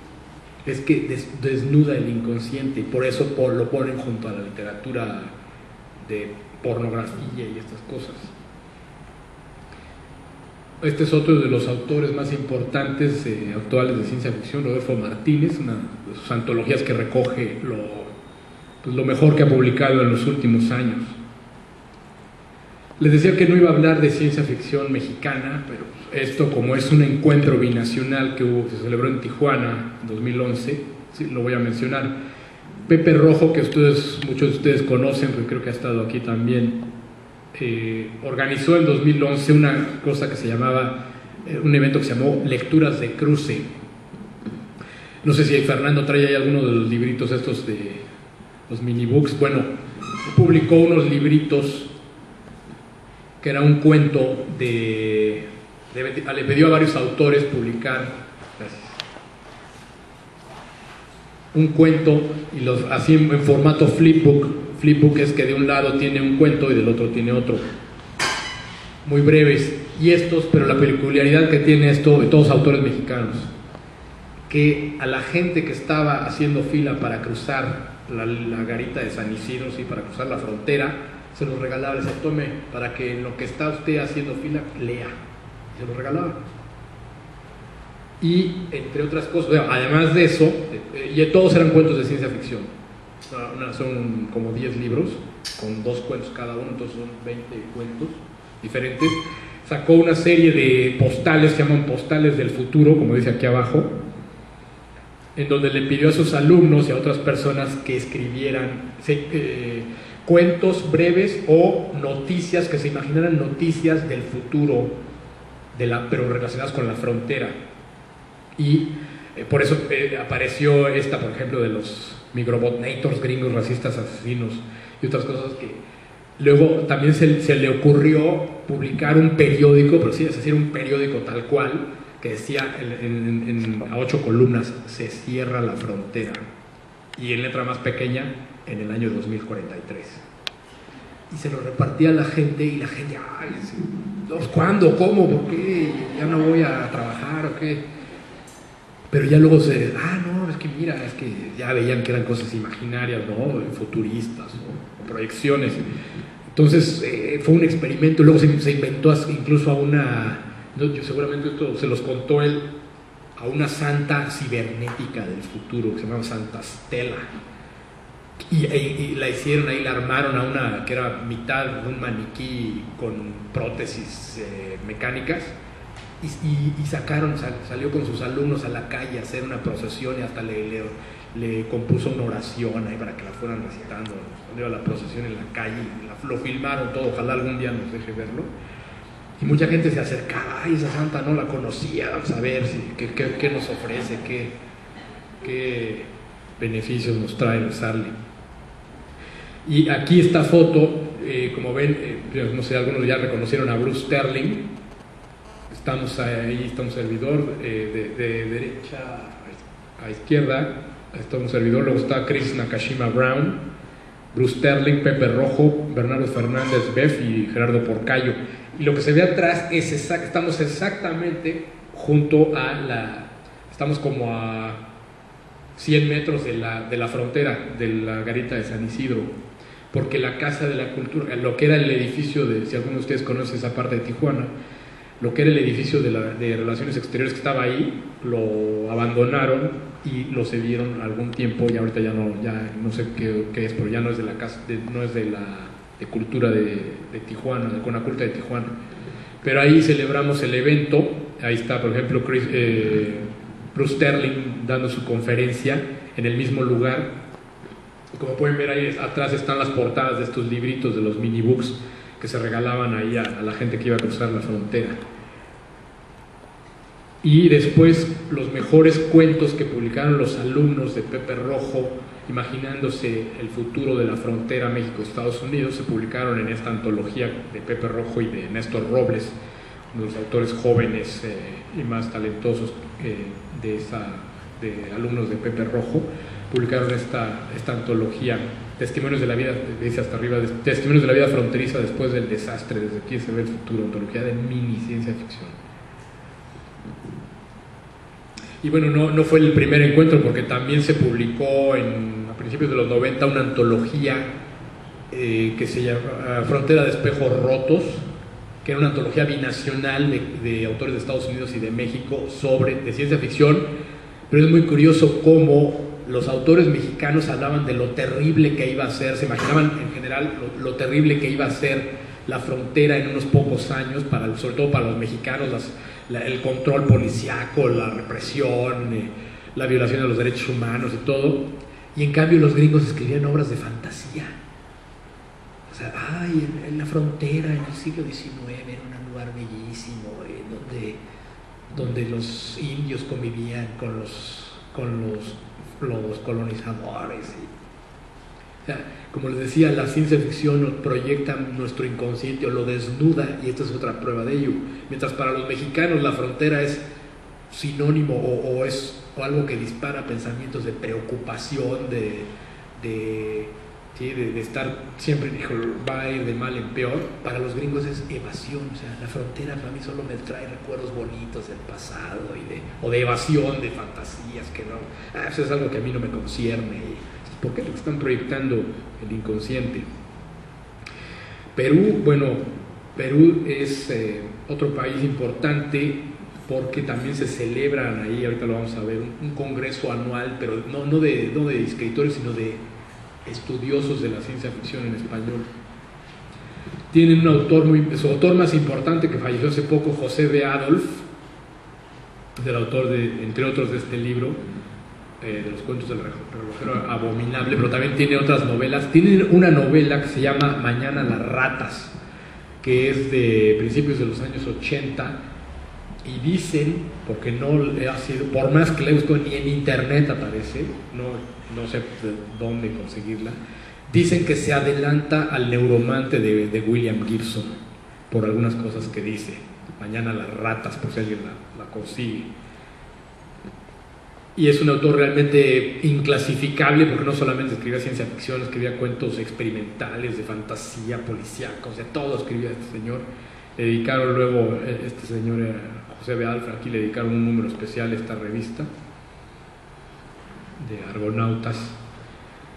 Era un señor que que también fomentó mucho la ciencia ficción en su país o la literatura fantástica en general y siempre tuvo que publicar contracorriente, con, siempre en contra de, no, como si no escribe realismo no vale la pena lo que escribes. Y ahora es el, el, gurú o es el, máximo autor de, de, este tipo de literatura en Perú. Sí, cualquier libro que consigan de él vale la pena. Esta es la inauguración del congreso que se llama eh, Coloquio Fanperú de eh, estudios académicos sobre ciencia ficción y más bien es de literatura fantástica, pero mucho se habla mucho de ciencia ficción. En la mesa están de derecha a izquierda está Campo Ricardo Burgos López, el autor colombiano que ya mencionamos. En medio no me acuerdo quién está, pero el último es Elton Honores, Elton Honores Vázquez, es un profesor de la Universidad Nacional Mayor de San Marcos, que es el que organiza estos encuentros desde 2008, 2009 que son ya encuentros de, mucho prestigio a nivel internacional, porque esta es otra de las mesas dentro de, esos coloquios, porque eh, tuve la oportunidad de estar ahí en 2011 y e incluso lo que más me llamó la atención dije, bueno, gringos va a haber seguramente, y alguno que otro español sí, sí lo sabía, como está ahí, la, güera que está ahí en medio es eh, una española, Lola López Martín, está en medio es Andrea Bell, es una investigadora gringa, el que está leyendo la computadora es eh, Marcelo Novoa, un chileno. El otro está, está en el extremo, no, no, recuerdo quién es. Y Elton Honores, que está en el otro extremo. Pero bueno, hubo, ah, incluso había un, autor, un estudioso, un investigador sueco, que ha ido desde Suecia a hablar de un autor latinoamericano de literatura fantástica. Que, hasta, hasta allá les interesa, digo, pues qué bueno, ¿no? Es, que ya se haya extendido hasta allá ese ese interés. Y este es un libro que publicó el propio Elton de sus ensayos sobre literatura fantástica en, Perú, Mundos Imposibles. Entonces ya el panorama ya se ha ampliado, no, no, solo para los autores, sino los investigadores también ya están muy unidos. Hay muchas, él, mismo publicó con motivo del evento de este mismo congreso una antología de ensayos sobre ciencia ficción y literatura fantástica hispanoamericana. Y el otro autor muy importante peruano actual es este Enrique Prochaska, que es un filósofo que también de repente le dio por escribir y tiene uno, ya tiene tres o cuatro libros de cuentos en, en el más puro estilo, muy cercanos al estilo de Borges. Enrique Prochaska es, recomendable, muy recomendable si, si a alguien le interesa este tipo de la literatura sudamericana es, es, un autor muy, pero muy, o sea, es indispensable de los actuales. Portugal, aquí pues me costó un poco de trabajo encontrar a, los autores portugueses. Bueno, pero hay por algunos contactos, eh, entré, eh, logré, localizarlos ahí en, Lisboa el año pasado. Y yo les preguntaba, bueno, esto algo que pregunto siempre en, todos los países latinoamericanos o hispanoamericanos, ¿por qué su ciencia ficción no se conoce? Ah, pues porque siempre, pues porque aquí solo publican, porque aquí solo les interesa la literatura realista, o porque aquí no somos, eh, no tenemos mercado. Pero cuando les pregunté a los portugueses, ¿y por qué ustedes no se conocen? Me dijeron, pues porque, porque, Portugal no existe. ¿Cómo que no existe? No, existe, ya nos está absorbiendo, nos está comiendo la, globalización, ya vamos a desaparecer pronto, ya, de veras, ver que, por ejemplo, esta antología de, antología de Fisao Científica Fantasporto tenía más autores de, de Angola, de Brasil y de otros lugares que de Portugal.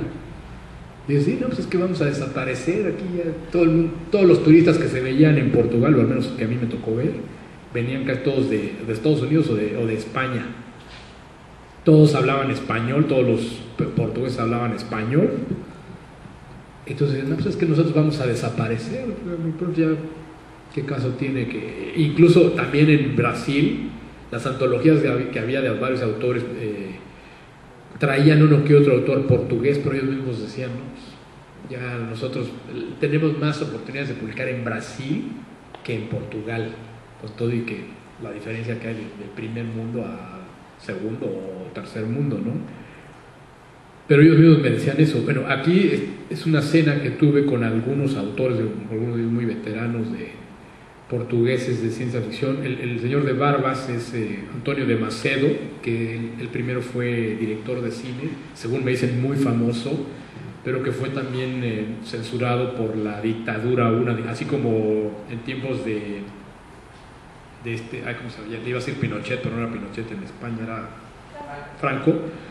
Hubo una dictadura similar en Portugal y a él lo censuraron y ya tuvo que dejar de hacer cine y se dedicó a escribir entre otras cosas publicó ciencia ficción. El señor que está atrás de, de, Barba, no recuerdo cómo se llama. El que sigue de lentes es eh, Rogerio, eh, Antonio, eh, no, Rogerio, pero es un gran coleccionista. Su esposa, la señora que está ahí.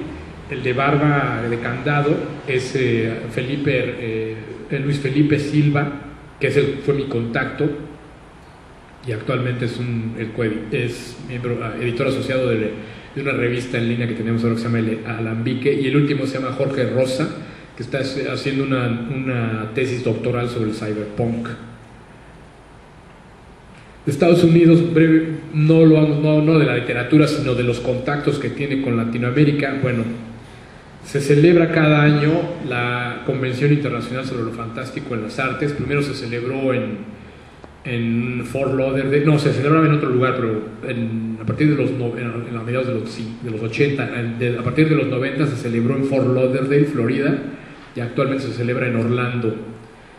Y ahí ya tiene, ya es como parte de su programa anual, tener mes, no una, sino varias mesas de diferentes eh, autores latinoamericanos, ya sea de los del mainstream, de Carlos Fuentes, García Márquez, o de los autores, como en esta ocasión, tocó, eh, invitaron a, a y a Pepe Rojo, también en, esa oportunidad estuve yo ahí, con Dale Knickerbocker, eh, si alguno de ustedes lo conoce también, él es estudioso, entre otros, de la obra de Federico Schaffler, también estudia la ciencia ficción española, es también una persona que nos ha ayudado, apoyado mucho con eh, la difusión de la investigación latinoamérica, de la ciencia ficción en español.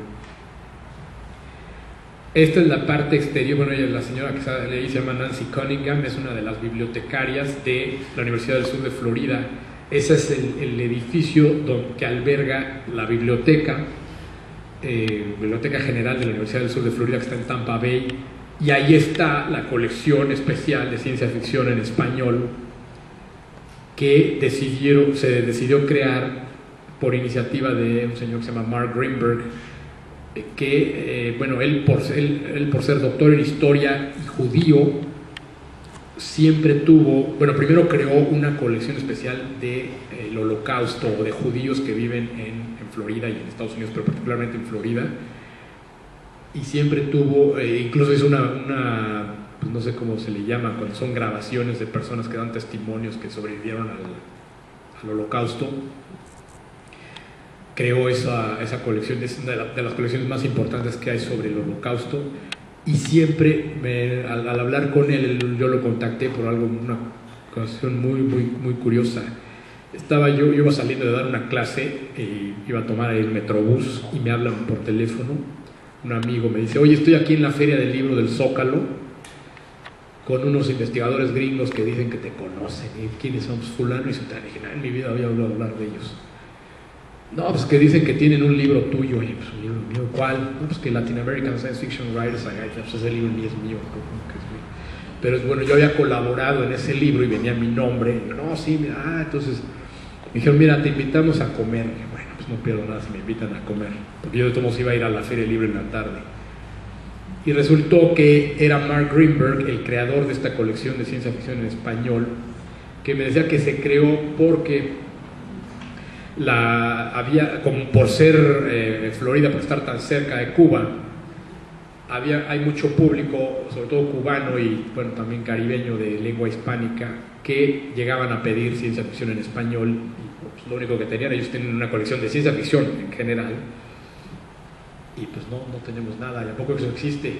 Entonces me dijeron que habían estado ahí en la Feria del Libro del Zócalo, que mi amigo se, los escuchó preguntar por ciencia ficción mexicana todos los mandaban, ah, sí, allá venden libros de Jaime Maussan, así los mandaban de un lugar para otro, y no, pues eso no existe. Y, oh, ah, sí, así, aquí están los libros de Cuauhtémoc, Carlos Cuauhtémoc Sánchez, cosas por el estilo. Entonces mi amigo los escuchó y, oigan, ¿por qué les interesa? Ah, es que venimos de la universidad y queremos hacer una colección y no sé qué. Entonces, ah, pues yo, yo sé a quién, a quién les voy a recomendar. Entonces, mira, tú, así nos conocimos con, con Mark Greenberg. Gracias a eso llegué yo a ser el curador de esta colección. En 2010 le dedicaron una, hicieron una exposición especial ahí en esta vitrina, están exhibidos ahí, es pura ciencia ficción en español. Por fortuna ya les hemos mandado la, ya más de 200 títulos entre libros, revistas, fanzines, eh, periódicos, cómics y hasta películas, DVDs, que también me pidieron películas, les he mandado casi todo lo del Santo, el Blue Demon y todo eso. Y como pueden ver aquí, bueno, esta es un stand de la colección, ya de la colección especial, esta resalta el Shanto Novelucha Libre de José Luis Árate están, así están divididos, están en una sección todo lo que es la ciencia ficción en español, eh, en el otro extremo está la ciencia ficción alemana, o la gringa desde luego es la que ocupa mayor espacio.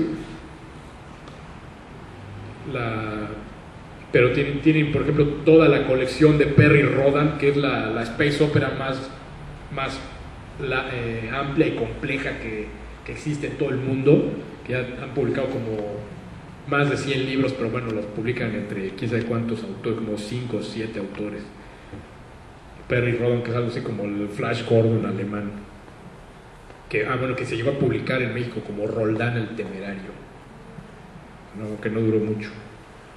Bueno, entonces estas son las, los stands de la, de la, sí, de la biblioteca de la Universidad del Sur de Florida, pues continúa y por fortuna hemos logrado hacer un, ya contactamos al bibliotecario de la Universidad de Texas en Austin, tenemos ya una cita la semana que entra para ver si queramos otra colección de ciencia ficción, yo no sé si en español, pero por lo menos mexicana, porque ahí tienen la biblioteca Natalie Lee Benson, que es especializada en México, tienen ahí las obras de, de Fray Juan de Zumárraga, tienen muchos cartas de, la de nuestra independencia, etcétera, pues quieren ahí hacer, parece, una colección de ciencia ficción en español, esperemos que se pueda hacer. Y bueno, la obra de, por ejemplo, la de Galavis, que me ha dado los antologías de ciencia ficción de autores de aquí, ¿cómo se llama el, libro rojo? este Exactamente, ya está en la colección especial, ya están los Sifaikus, la, antología de Sifaikus, y los cuadros de la Mancuspia y esto,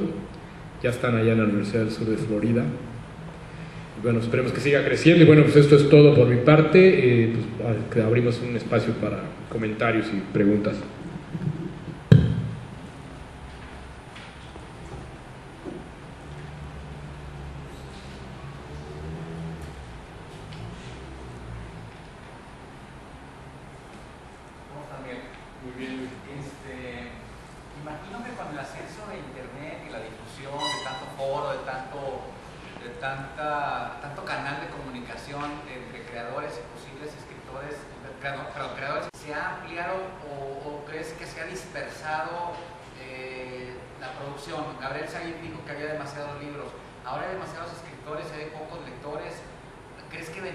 en internet debe de beneficiar en algo, me imagino, pero, pero para ser un famoso modelo sustentable o hacer este, este eh, no sé, que la gente diga y se, se dedique a pensar que un autor particular eh, ha sobresalido entre todos en la época de internet, 5 o 10 años hacia acá. La pregunta es, ¿beneficia a, a, a este, la ciencia ficción mexicana o latinoamericana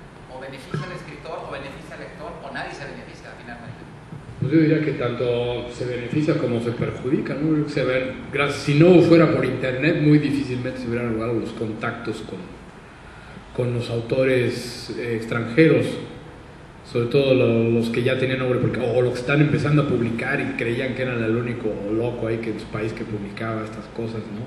También se ha, eh, eh, ha traído los maleficios de pues, bueno, la globalización de pues, cualquiera publica ahí tiene su blog y publica cualquier basura o se las plagia, ¿no? Que ha, pasado. Yo creo que han ocurrido las dos cosas, pero yo creo que han sido más mayores los beneficios que, que los perjuicios que ha traído la, la globalización y pues, mayores oportunidades de publicar. O, sea, o por ejemplo, la, el simple, yo no sé cómo hubiera conseguido algunos libros si no fuera por internet. Como es este libro, el libro ese de, la primera novela centroamericana de ciencia ficción, a pesar de que era centroamericana, la conseguí de una librería que estaba en Chile por internet. Y es una novela de 1899 y autografiada por el autor además. Entonces yo creo que más bien han sido beneficios. Eh, pues las redes sociales también han ayudado mucho. O por ejemplo, digo, a Fernando también lo conocí por un evento que se anunció ahí del Museo de la Caricatura y la Historieta, no recuerdo dónde se, estaba anunciado, ahí nos conocimos Fernando y yo, que los dos ahí en Cuautla coincidimos en ese evento, que se hizo un homenaje a los super sabios y, al Eternauta y a otros personajes de ciencia ficción. Entonces yo creo que pues, ha traído, ha sido más, más, los, más los beneficios que, que otra cosa.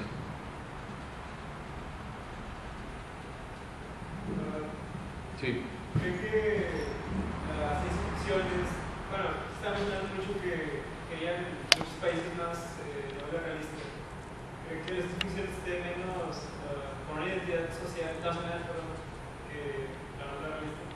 Ah, pero no, no te escuché bien. Perdón, no formulé la pregunta. Este, que si que las historias de ciencia ficción tienen menos identidad como que nacional que las novelas que son eh, realistas o que están situadas en un pues es que, es que es un error. Bueno, es que, bueno, primero hay que ver quién dice eso de que solo la novela o la literatura realista es la que vale la pena, o al menos en Latinoamérica, ¿no? Son los, esos críticos que son escritores frustrados, ¿no? En su mayoría, o los que están ahí y trabajan para el sistema. Porque creen que la ciencia ficción es literatura escapista. Pero pues muchas veces la ciencia ficción es la que más mejor refleja la realidad. O sea, si tú quieres conocer una, quieres saber, lees una obra que habla de, la Guerra Fría o de, la Tercera Guerra Mundial, pues ya es casi, casi nada por, por ver ese, esa temática, ya sabes eh, de qué época más o menos, eh, en qué época se escribió, o que hablan de la caída de, o, que el comunismo todavía continúa en el siglo XXI, pues ya, nada más por leer eso ya sabes como decía Ursula K. Le Guin, la ciencia, no hay, eh, la ciencia ficción no habla del futuro, habla del presente. Está proyectando el presente. Aunque en clave, o sea, lo que tiene, la virtud que tiene la ciencia ficción es de enseñarnos las cosas como en una casa de espejos. Nos da, nos, da las cosas que conocemos nos las deforma y las cosas que no conocemos nos las hace como si fueran conocidas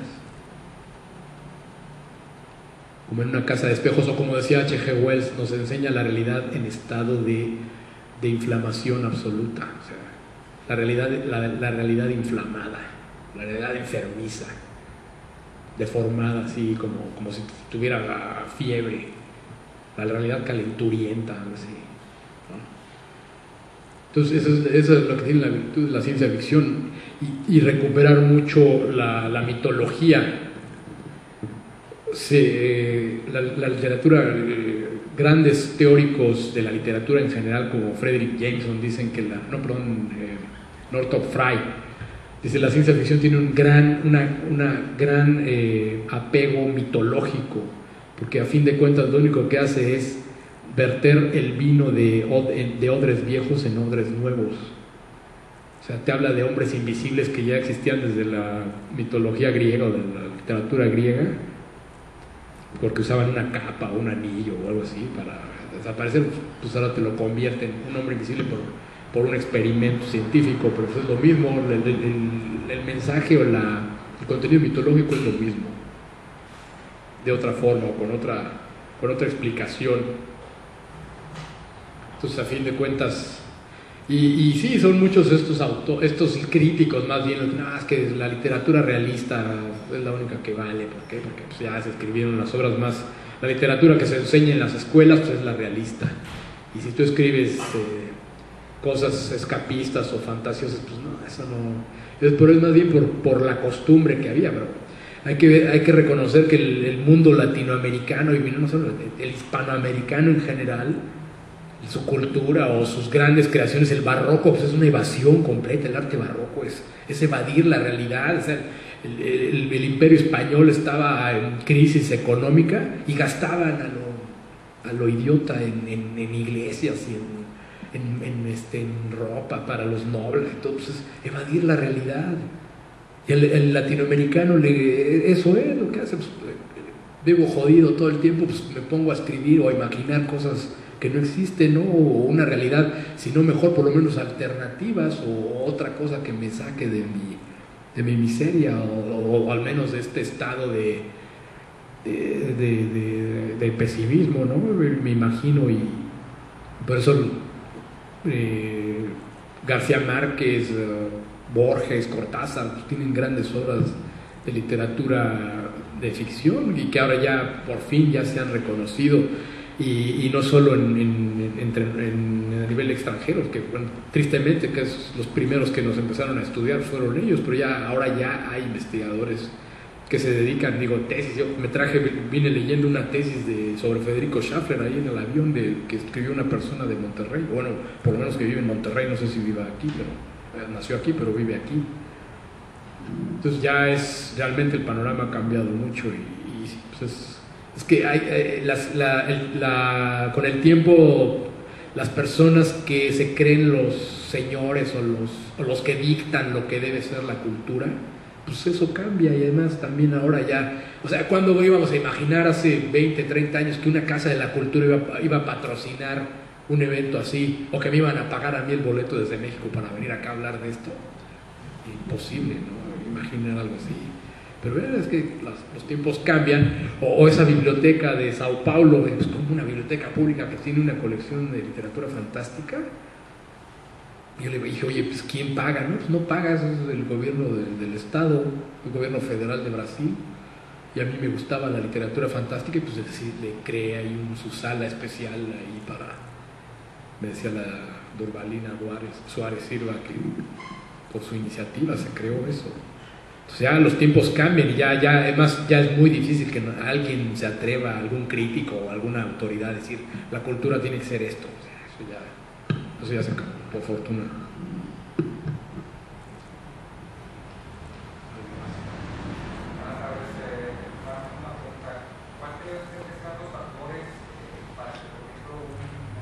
¿Puedes hablar más fuerte?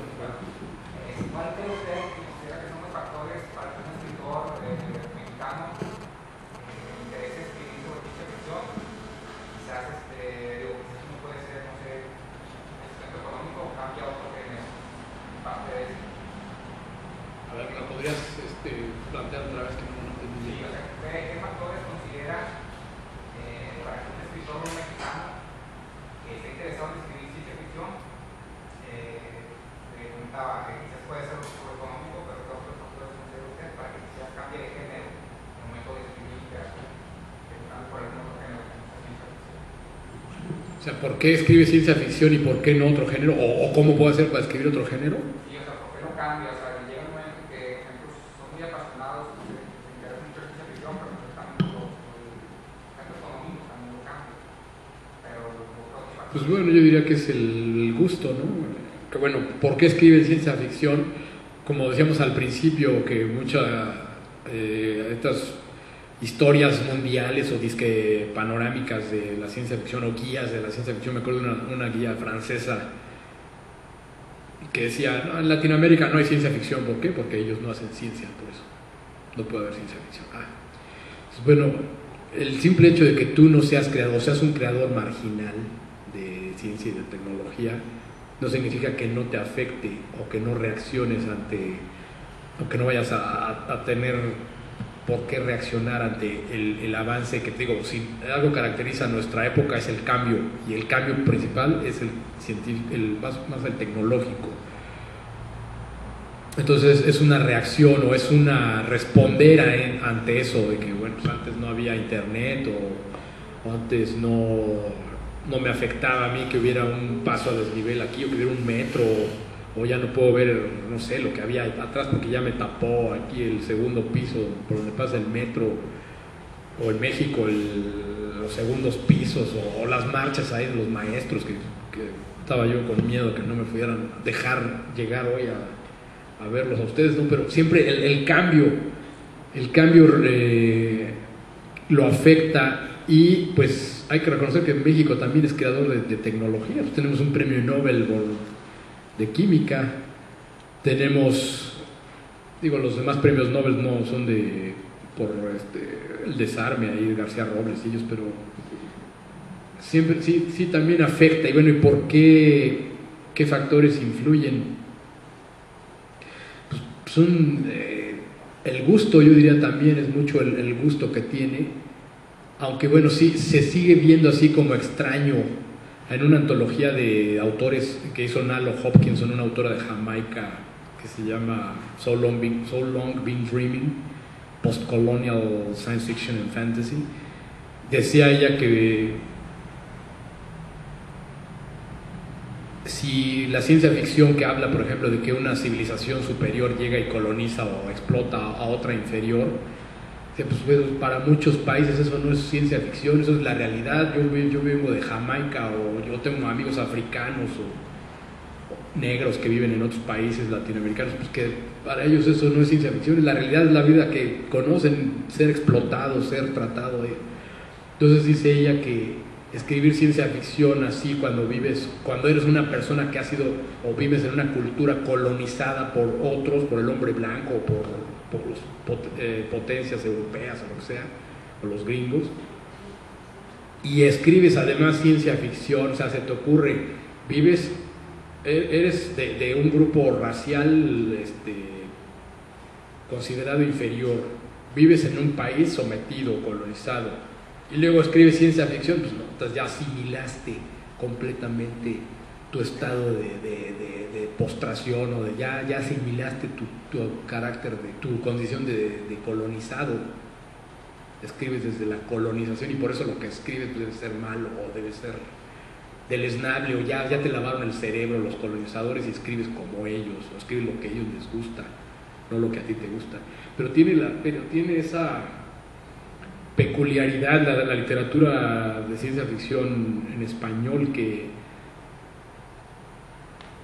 como les decía, no nace de, los, de las revistas estas de, de papel de pulpa de madera, sino que nace de la escuela del cuento fantástico latinoamericano, que es muy rica, es muy, muy, muy variada y tiene sus peculiaridades de que es raro que tú vayas a encontrar así eh, obras que hablen de ciencia ficción latinoamericana, que hablen de, de conquista de un, país, de un planeta sobre una civilización superior sobre otra, o de que hablen de, o de glorifiquen o, traten de directamente de glorificar la violencia o el armamento para la destrucción.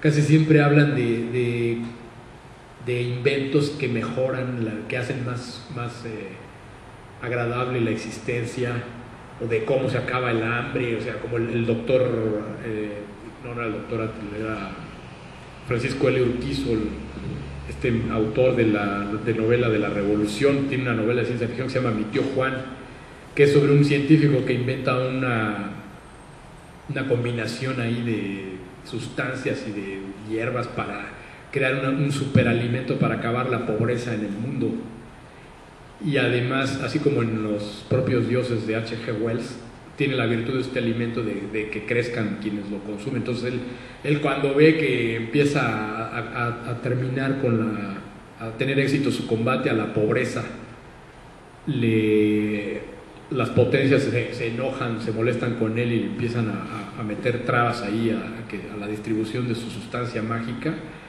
pues él consume la sustancia para crecer y salir a combatir ahí a los ejércitos de todo el mundo. Y se muere ahí, pero dice, no, pero mi fin es noble, yo voy a acabar con la pobreza. Y pues ahí se lo echan ahí los portaaviones y todo, pero vean ahí cómo es otro punto de vista, totalmente distinto de, de no proyectar, de no desnudar el inconsciente, como les decía al principio, que la ciencia ficción tiene esa virtud, de desnuda el inconsciente entonces te proyecta tu verdadero ser, tu verdadero, o, lo que real, o lo que más profundamente piensas o sientes del otro. y no ves al otro como una amenaza.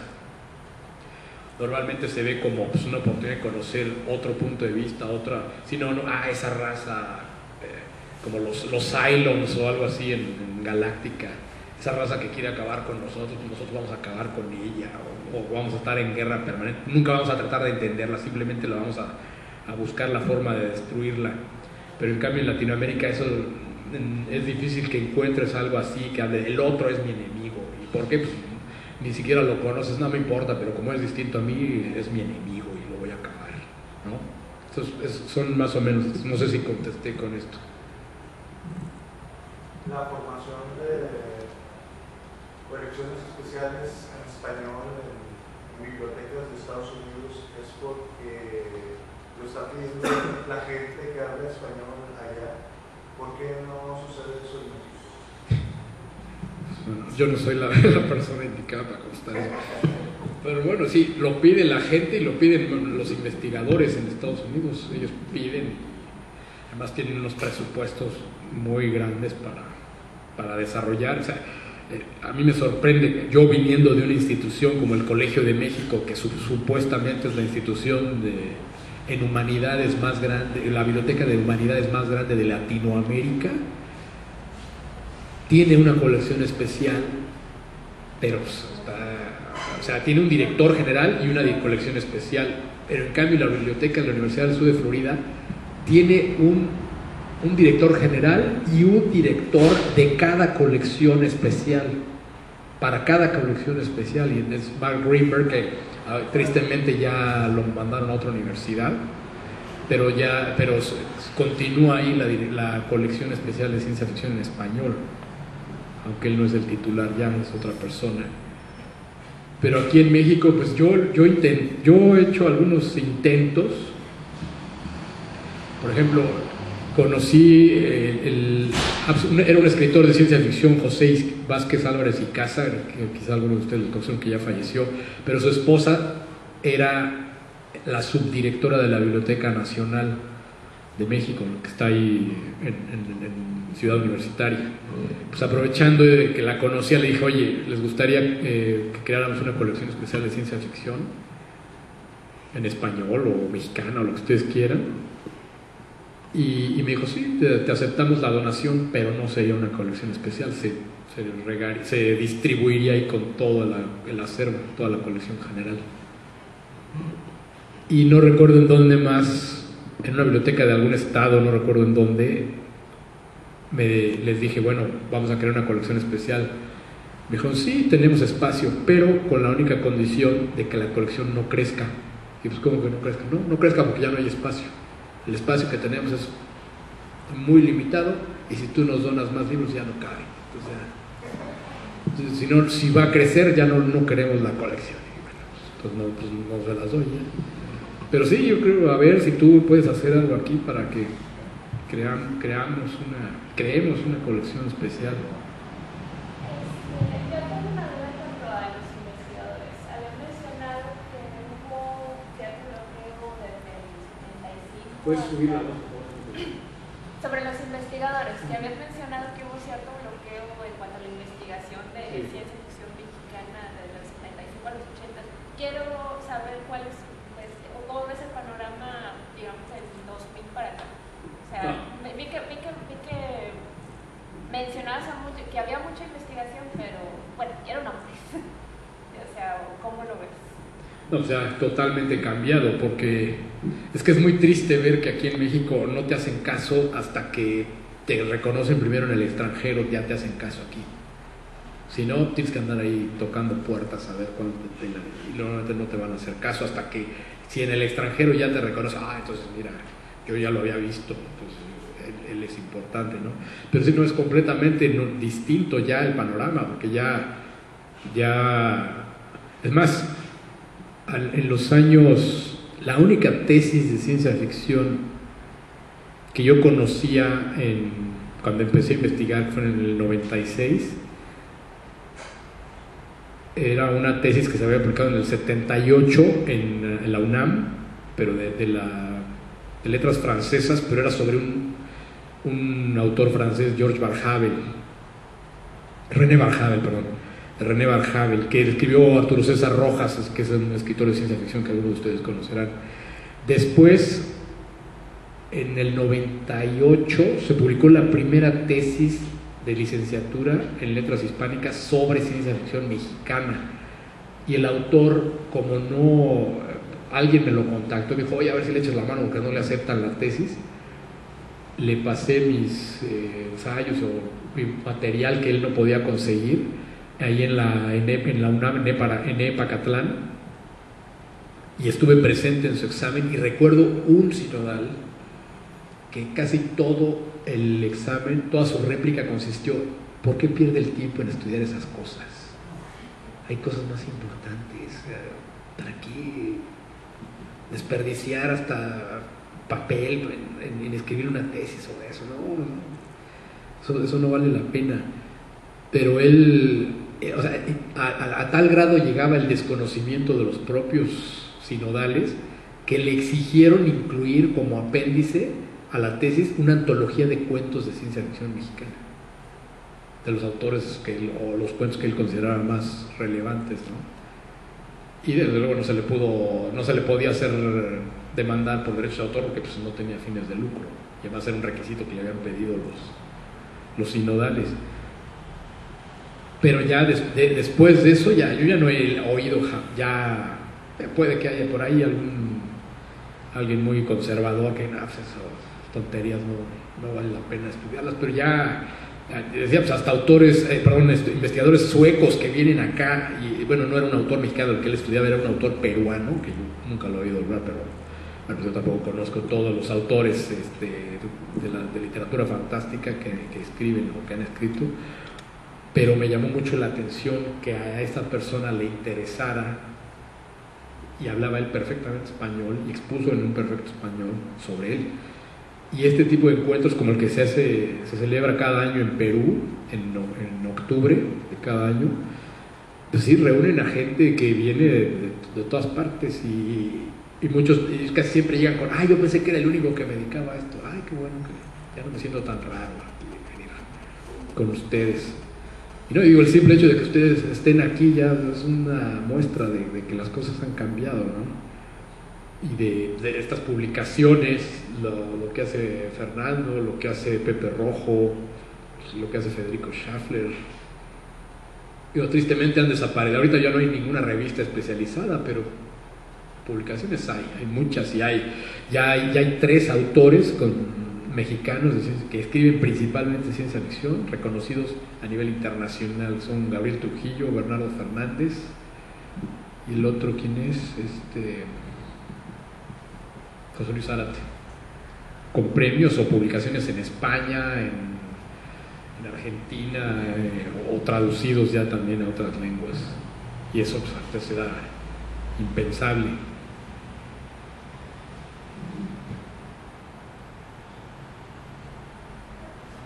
A ver, primero acá. Luego Tilius porque ya va para que vaya la segunda vuelta. Eh, ¿Qué factores crees que deberían mejorarse para, para que haya más interés en ciencia ficción, por lo menos en México?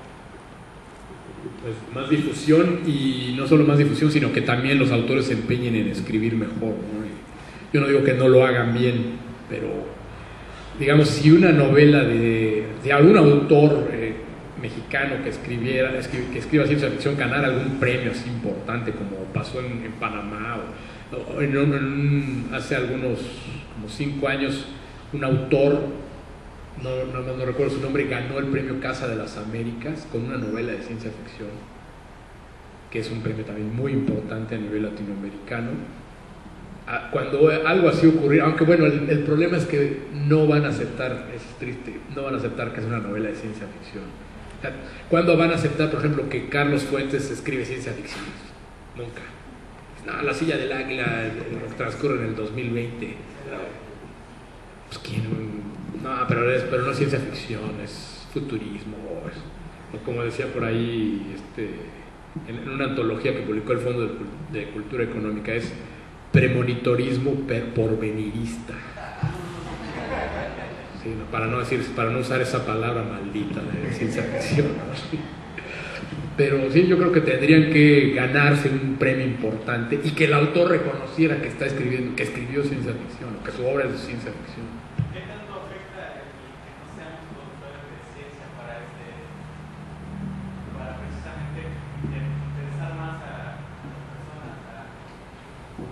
se yo creo que se podría combinar mucho y de hecho recobrar la tradición. En México se dio a conocer la ciencia ficción mexicana en una revista de divulgación científica, en la revista Ciencia y Desarrollo del CONACIT, que en los años... Eh, empezó en 75, si mal no recuerdo. En 77 decidieron empezar a incluir cuentos, pero de, de autores extranjeros, de Asimov, de Wells, así.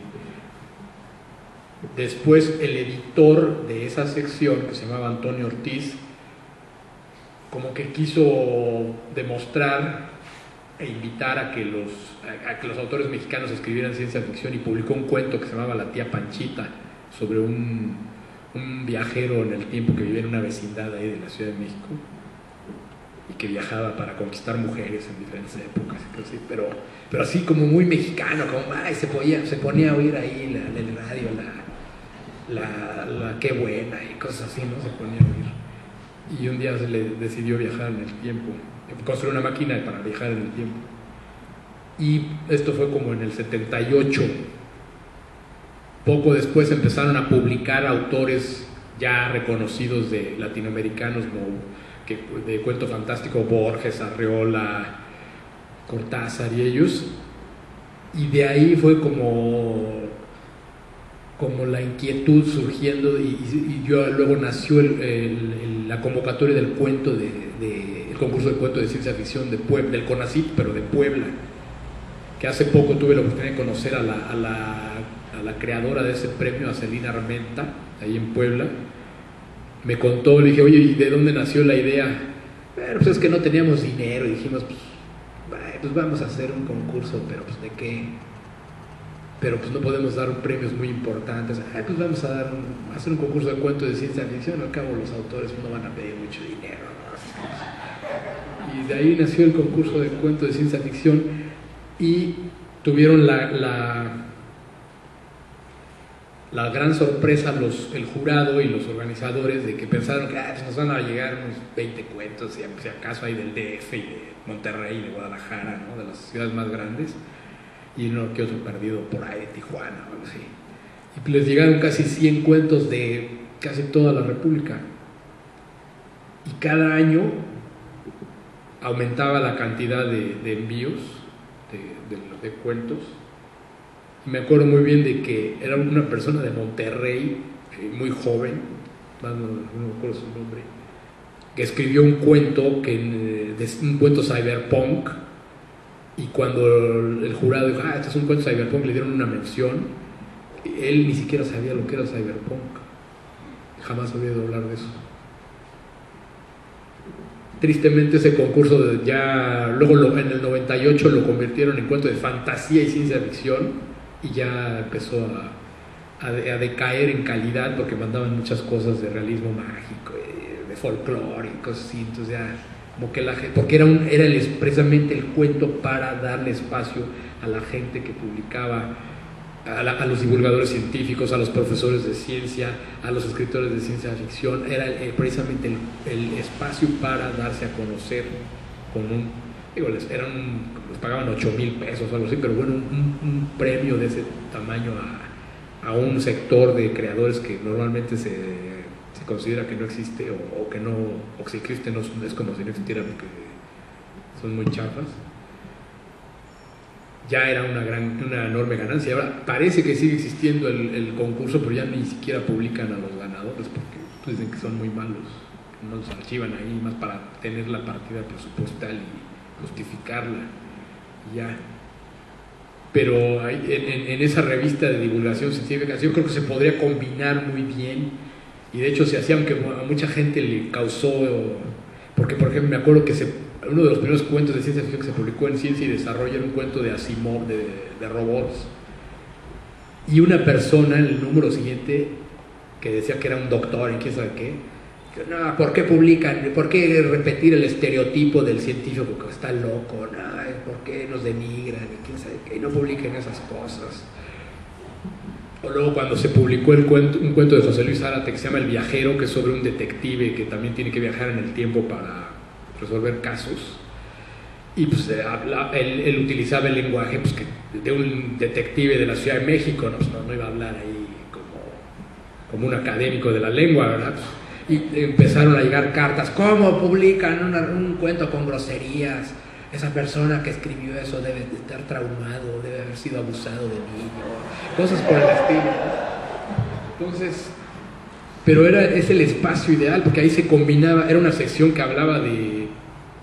eh, venía el cuento en la revista Conacyt, ya ni siquiera sé si existe la del Ciencia y Desarrollo.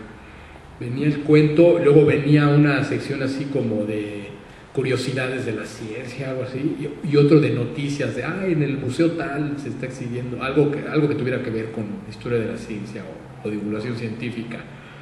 Y ya luego desapareció, pero es un espacio perfecto, ¿no? Hay, hay, autores que han... Hay autores que escriben ciencia ficción dura, que son científicos, aunque lamentablemente la mayoría de ellos no saben escribir. Pero pues, ah, si tuvieran la- el taller o la- el interés verdadero de publicar obras de calidad, lo podrían hacer y, es un- eh, sería una herramienta magnífica. Incluso descubrimos hace poco que en el siglo XIX en México se empezaron a, a traducir las obras, no, se- aquí no se traducían, se fusilaban las traducciones españolas de Julio Verne y las publicaban aquí y no les daban crédito a los traductores. Pero a raíz de que se empezó a publicar a partir de 1870, eh, e incluso, ah, bueno, se me olvidó decirles, va a salir ya pronto el primer número de nuestra revista en línea que se llama Alambique, eh, que publica la Universidad del Sur de Florida, que es la primera revista, bueno, no es la primera, pero es de las primeras, que se nos adelantó una brasileña, de revista académica de estudios sobre ciencia ficción y fantasía en español y portugués. Se publican artículos en español, en inglés y en portugués. Y viene, eh, eh, presento ahí un texto que escribió Justo Sierra, el científico Justo Sierra, el filósofo, el fundador de la UNAM, un- como un prólogo a 20.000 lenguas de viaje submarino de Julio Verne. Entonces, en la época había tanto interés en Julio Verne y el propio Justo Sierra lo dice, bueno, está en línea, es eh, alambique.usf.ed o algo así, bueno, luego les paso bien ahí el, el vínculo que ni siquiera me acuerdo y me da vergüenza porque yo soy coeditor, pero bueno, tenía tan, había tanto interés en, en- en- decían que bueno, justo Verne ha logrado el milagro de que los niños les guste la ciencia, aprendan ciencia porque, eh, leyendo sus obras, sus aventuras, sus viajes extraordinarios. Y poco después se publicó una revista que se llamaba La Ciencia, en México también La Ciencia Recreativa, y el autor escribía cuentitos eh, de divulgación científica inspirado, pues no tanto en Julio Verne, sino en la combinación que hacía Julio Verne de el conocimiento científico con cuentitos que fueran amenos para la juventud. Y apenas me- eh, lo único que había era una tesis de licenciatura sobre el tema del eh, autor de esta, de esta revista que se llamaba, se apellidaba Rioja, Juan José Rioja o algo así, o Juan Manuel Rioja, algo así. Que le llamaban el Julio Verne mexicano, por ese tipo de cuentitos, que según esto eran muy, eh, muy bien recibidos por la, por la sociedad mexicana del, del porfiriato, porque realmente hac- eh, hacían que los niños leyeran y aprendieran ciencia en aquella época, ¿no? pero yo creo que eso se podría hacer, se podría hacer este, actualmente, no sé, llegarle a la SEP con un programa de, de divulgación científica a través de la ciencia ficción, pero bien estructurado, yo creo que funcionaría muy bien, se podría hacer muy buena divulgación científica. Era, es, de hecho, es algo que comentaste ahorita. Eh, el tema de fantasía, a partir de El Señor de los Anillos, Harry Potter, ha generado, yo he visto que ha generado mucha, mucha este, inquietud de la gente que escribe y se ha dedicado a escribir fantasía. Este, eso no, de alguna manera, tanto esfuerzo que se hace para la ciencia ficción y de repente llega algo así tan atractivo este, como la fantasía, no, no, no es así como que este, ya está el, el hermano incómodo, puede ser, ¿no? De que acabo de mencionar la revista que, de, de, este, la MIC, que se va a tratar también de fantasía. ¿Tú cómo ves el tema de fantasía? No, la, la vi que no es de fantasía. por No, favor. y bueno, dices ciencia ficción y fantasía, este, Sí. eh, a lo que voy es, el tema de fantas- fantástico, espadas, magia, caballeros, este, monjes, secretos, el Game of Thrones, etc. Este, es el hermano incómodo de alguna manera, o sea, es- estar digo, no despreciamos un buen, a un buen escritor como George R. R. Martin o, o, o Tolkien, pero sí sentimos que, bueno, a lo que queremos de ciencia ficción como una especie de, de previsor del futuro, que te previene, que te avisa, que te advierte, y la fantasía es esca- es escapismo, que habla de eh, pasado en Reyes o de Shakespeare, o lo que tú quieras, ¿no? temas shakespearianos o, o de tipo, no sé, no sé, medievales, productos de guerra. ¿Es hermano incómodo, ¿no? Pues yo no creo que sea el hermano incómodo, yo creería que es la prima bonita ahí de la ciencia ficción, que atrae a los lectores. No, y además es que hay que recordar cuándo se cuándo empieza a publicarse Harry Potter y cuándo tiene auge, porque no, no acaba de publicarse El Señor de los Anillos, es una obra mucho más vieja. Pues es justo cuando están eh, esto de los, el terrorismo y los ataques terroristas a Estados Unidos, la paranoia ahí de, de- de- de que iba a haber un ataque. Entonces, pues sí, es evasión. pues, Y, y con la virtud de hacer leer a, la- a los chavos que ya no leían, ¿no? Y siguen siendo un mercado muy rentable el, el, el Young Adult Fiction. Pero yo no creo que sea un hermano incómodo, además.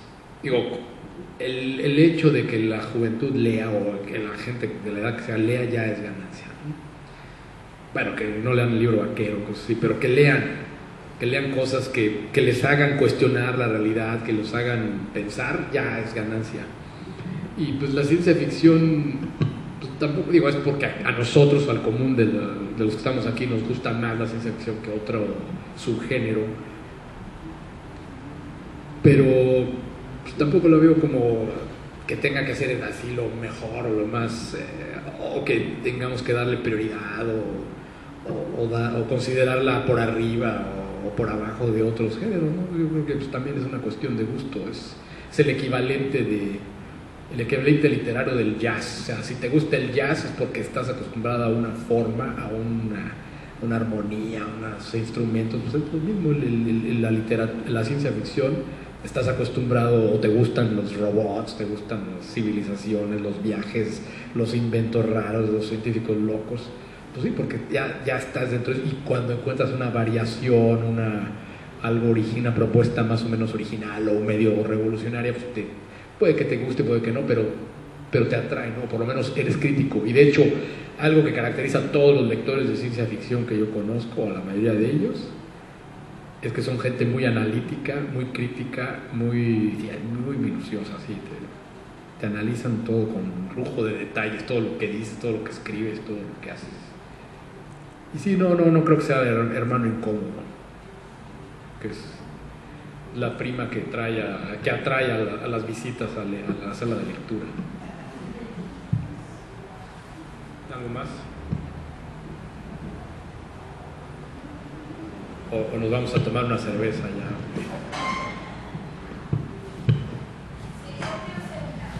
Sí. Este, ¿De dónde nace la idea de, de ser investigador de la literatura de ciencia ficción?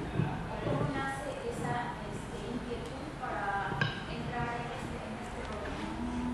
Bueno, en mi caso fue un accidente, ¿no? Porque, bueno, yo soy investigador de, primero fui, eh, mi primera carrera fue abogado y empecé a ser investigador jurídico. Y como si toda la vida me había gustado la, literatura fantástica, especialmente la literatura de ciencia ficción, empecé a- cuando yo leía eh, ya se- yo incluso yo participé en el primer concurso de cuento de ciencia ficción digamos, con un cuento que ya me da vergüenza pero concursé no y pues yo tenía 16 años entonces pero dije eh, se empezaron a raíz de que, de que se hizo ese concurso se empezaron a publicar el, ganador que fue Mauricio José Schwartz empezó a publicar cuentos, perdón, artículos que decían, ah, la ciencia ficción en México empezó con, con eh, Amado Nervo, que publicó tal cosa. Y yo, como había sido lector voraz de, de muchos años atrás, dije, no, o sea, yo me acuerdo de otras cosas que él no menciona, de cuentos ahí del, del doctor Attel y de, de otros, o, o esos cuentos que él, él creo que decía que el, el único cuento de ciencia ficción de Amado Nervo era, era La Última Guerra. Y dije, no, yo leí hasta poesías. y- Entonces ahí empecé a investigar un poco más. Y fue cuando cayó en mis manos esa tesis que le mencioné al principio de de una mujer ahí de la universidad, que publicó en la Universidad del Estado, la Universidad Autónoma del Estado de México, diciendo que, bueno, la ciencia ficción mexicana la han estudiado en una tesis doctoral, pero pues como es tan, como yo creo que es mala, mejor estudio la Argentina de Angélica Borodischer.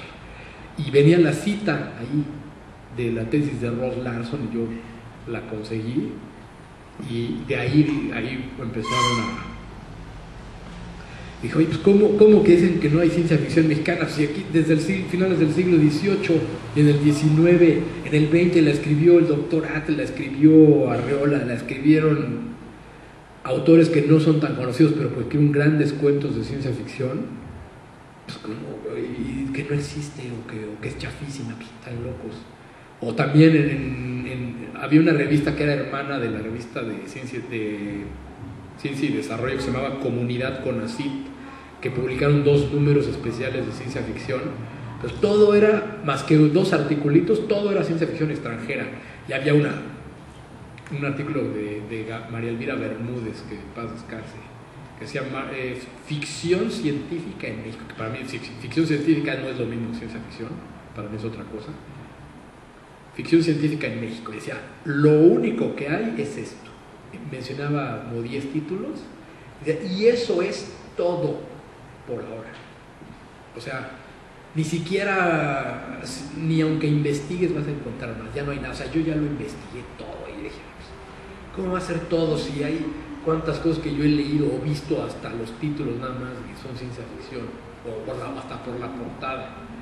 Y pues me puse a investigar y a, luego a contactar gente que había estudiado ciencia ficción chilena o algo así, y ellos me decían, ah, es que al investigar me encontré una obra que pensé que era de chileno, pero era de y así, o de un español, y me pasaban el dato y luego yo encontraba cosas, se los pasaba también.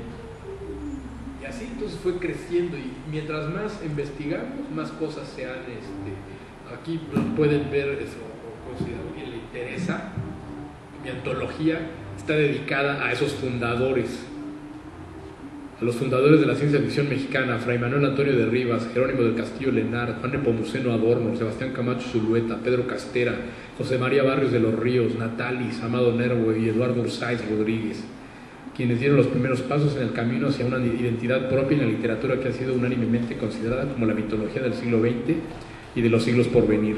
Cuando esta antología se publicó en 2000, en una editorial argentina que acababa de entrar a México, mandaron, era cuando estaban, existían las bibliotecas de aula, así que las, las, editoriales eh, comerciales privadas mandaban sus propuestas de libros para ver cuál la SEP escogía para, para, que, para hacer un, un nuevo tiraje masivo que estuviera en todas las aulas eh, eh, públicas. Mandaron tres textos, tres libros, y me, me lo dijeron así los de la editorial dos libros de pedagogía y este. Dijeron, ah, dije, no, este no lo querían mandar. Dijeron, ah, tú mándalo, qué pasa. Y pues fue el único que escogió la SEP fue este, para las bibliotecas de aula. Entonces en 2012 se hizo una edición de 52 mil ejemplares y se envió a todas las secundarias oficiales de, de México. Y me dio mucho gusto, por ejemplo, en Facebook, eh, hace poco una persona me contactó que pues, quizá, pues, no sé, ah, usted es el autor de Visiones Periféricas, sí. Y me, no me acuerdo si querían una entrevista, no sé qué, pero luego me dijo, yo conocí su libro en, cuando, iba, cuando estaba en secundaria y su libro me cambió la vida. Y no, pues eso sí, realmente te, te deja un huella, ¿no? Entonces, a mí, pues yo realmente no porque yo continué investigando, después estudié posgrado en historia y me soy sigo siendo investigador histórico. De hecho, ahorita me han traído en friega con el bicentenario del Congreso de Chilpancingo y los sentimientos de la nación. Eh, pero en mis ratos libres, mi afición de siempre ha sido la ciencia ficción. Por eso me dedico a ella, más por gusto.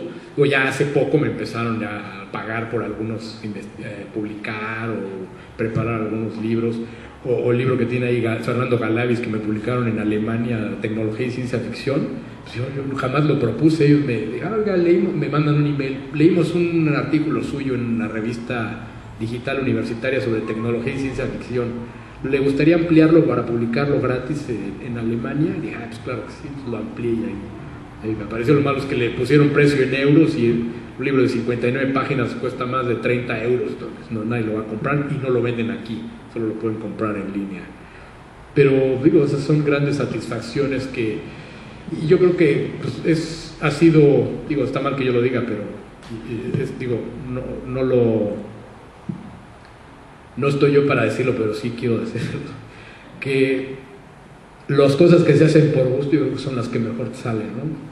No las que haces ahí por obligación o porque, no, pues, que si no, no como. Yo lo hago por puro gusto. Y pues qué bueno que, digo, ha, funcionado y pues eh, prueba de ello es que estamos aquí, ¿no? También es una, una de las satisfacciones estar con gente como ustedes, ¿no? Interesados y, que, yo sé que o son lectores o son escritores o editores o lo que sea, pero que les interesa el tema y que siguen, siguen aportando sus granitos de arena para esto continúe y pues por eso ha sido más, más por afición y ya luego, como les conté así, que llegué a ser el curador de la colección de ciencia ficción en español ya que conocí cómo trabajaban las bibliotecas gringas, pues les empecé a mandar emails, algunos me dijeron, ah, mucho gusto. Otros sí me dijeron, oye, si me interesa, vamos a, cuando vengas acá, platicamos. Entonces así han ido, han ido pues, tocando puertas como todo, ¿no? Como todos los escritores o todos los... Cualquier creador, cualquier artista, pues tiene que tocar puertas, no, no quedarse esperando que le llamen a, a darle el premio Nobel, ¿no? Pues tiene que ponerse a picar piedra. ¿Algo más?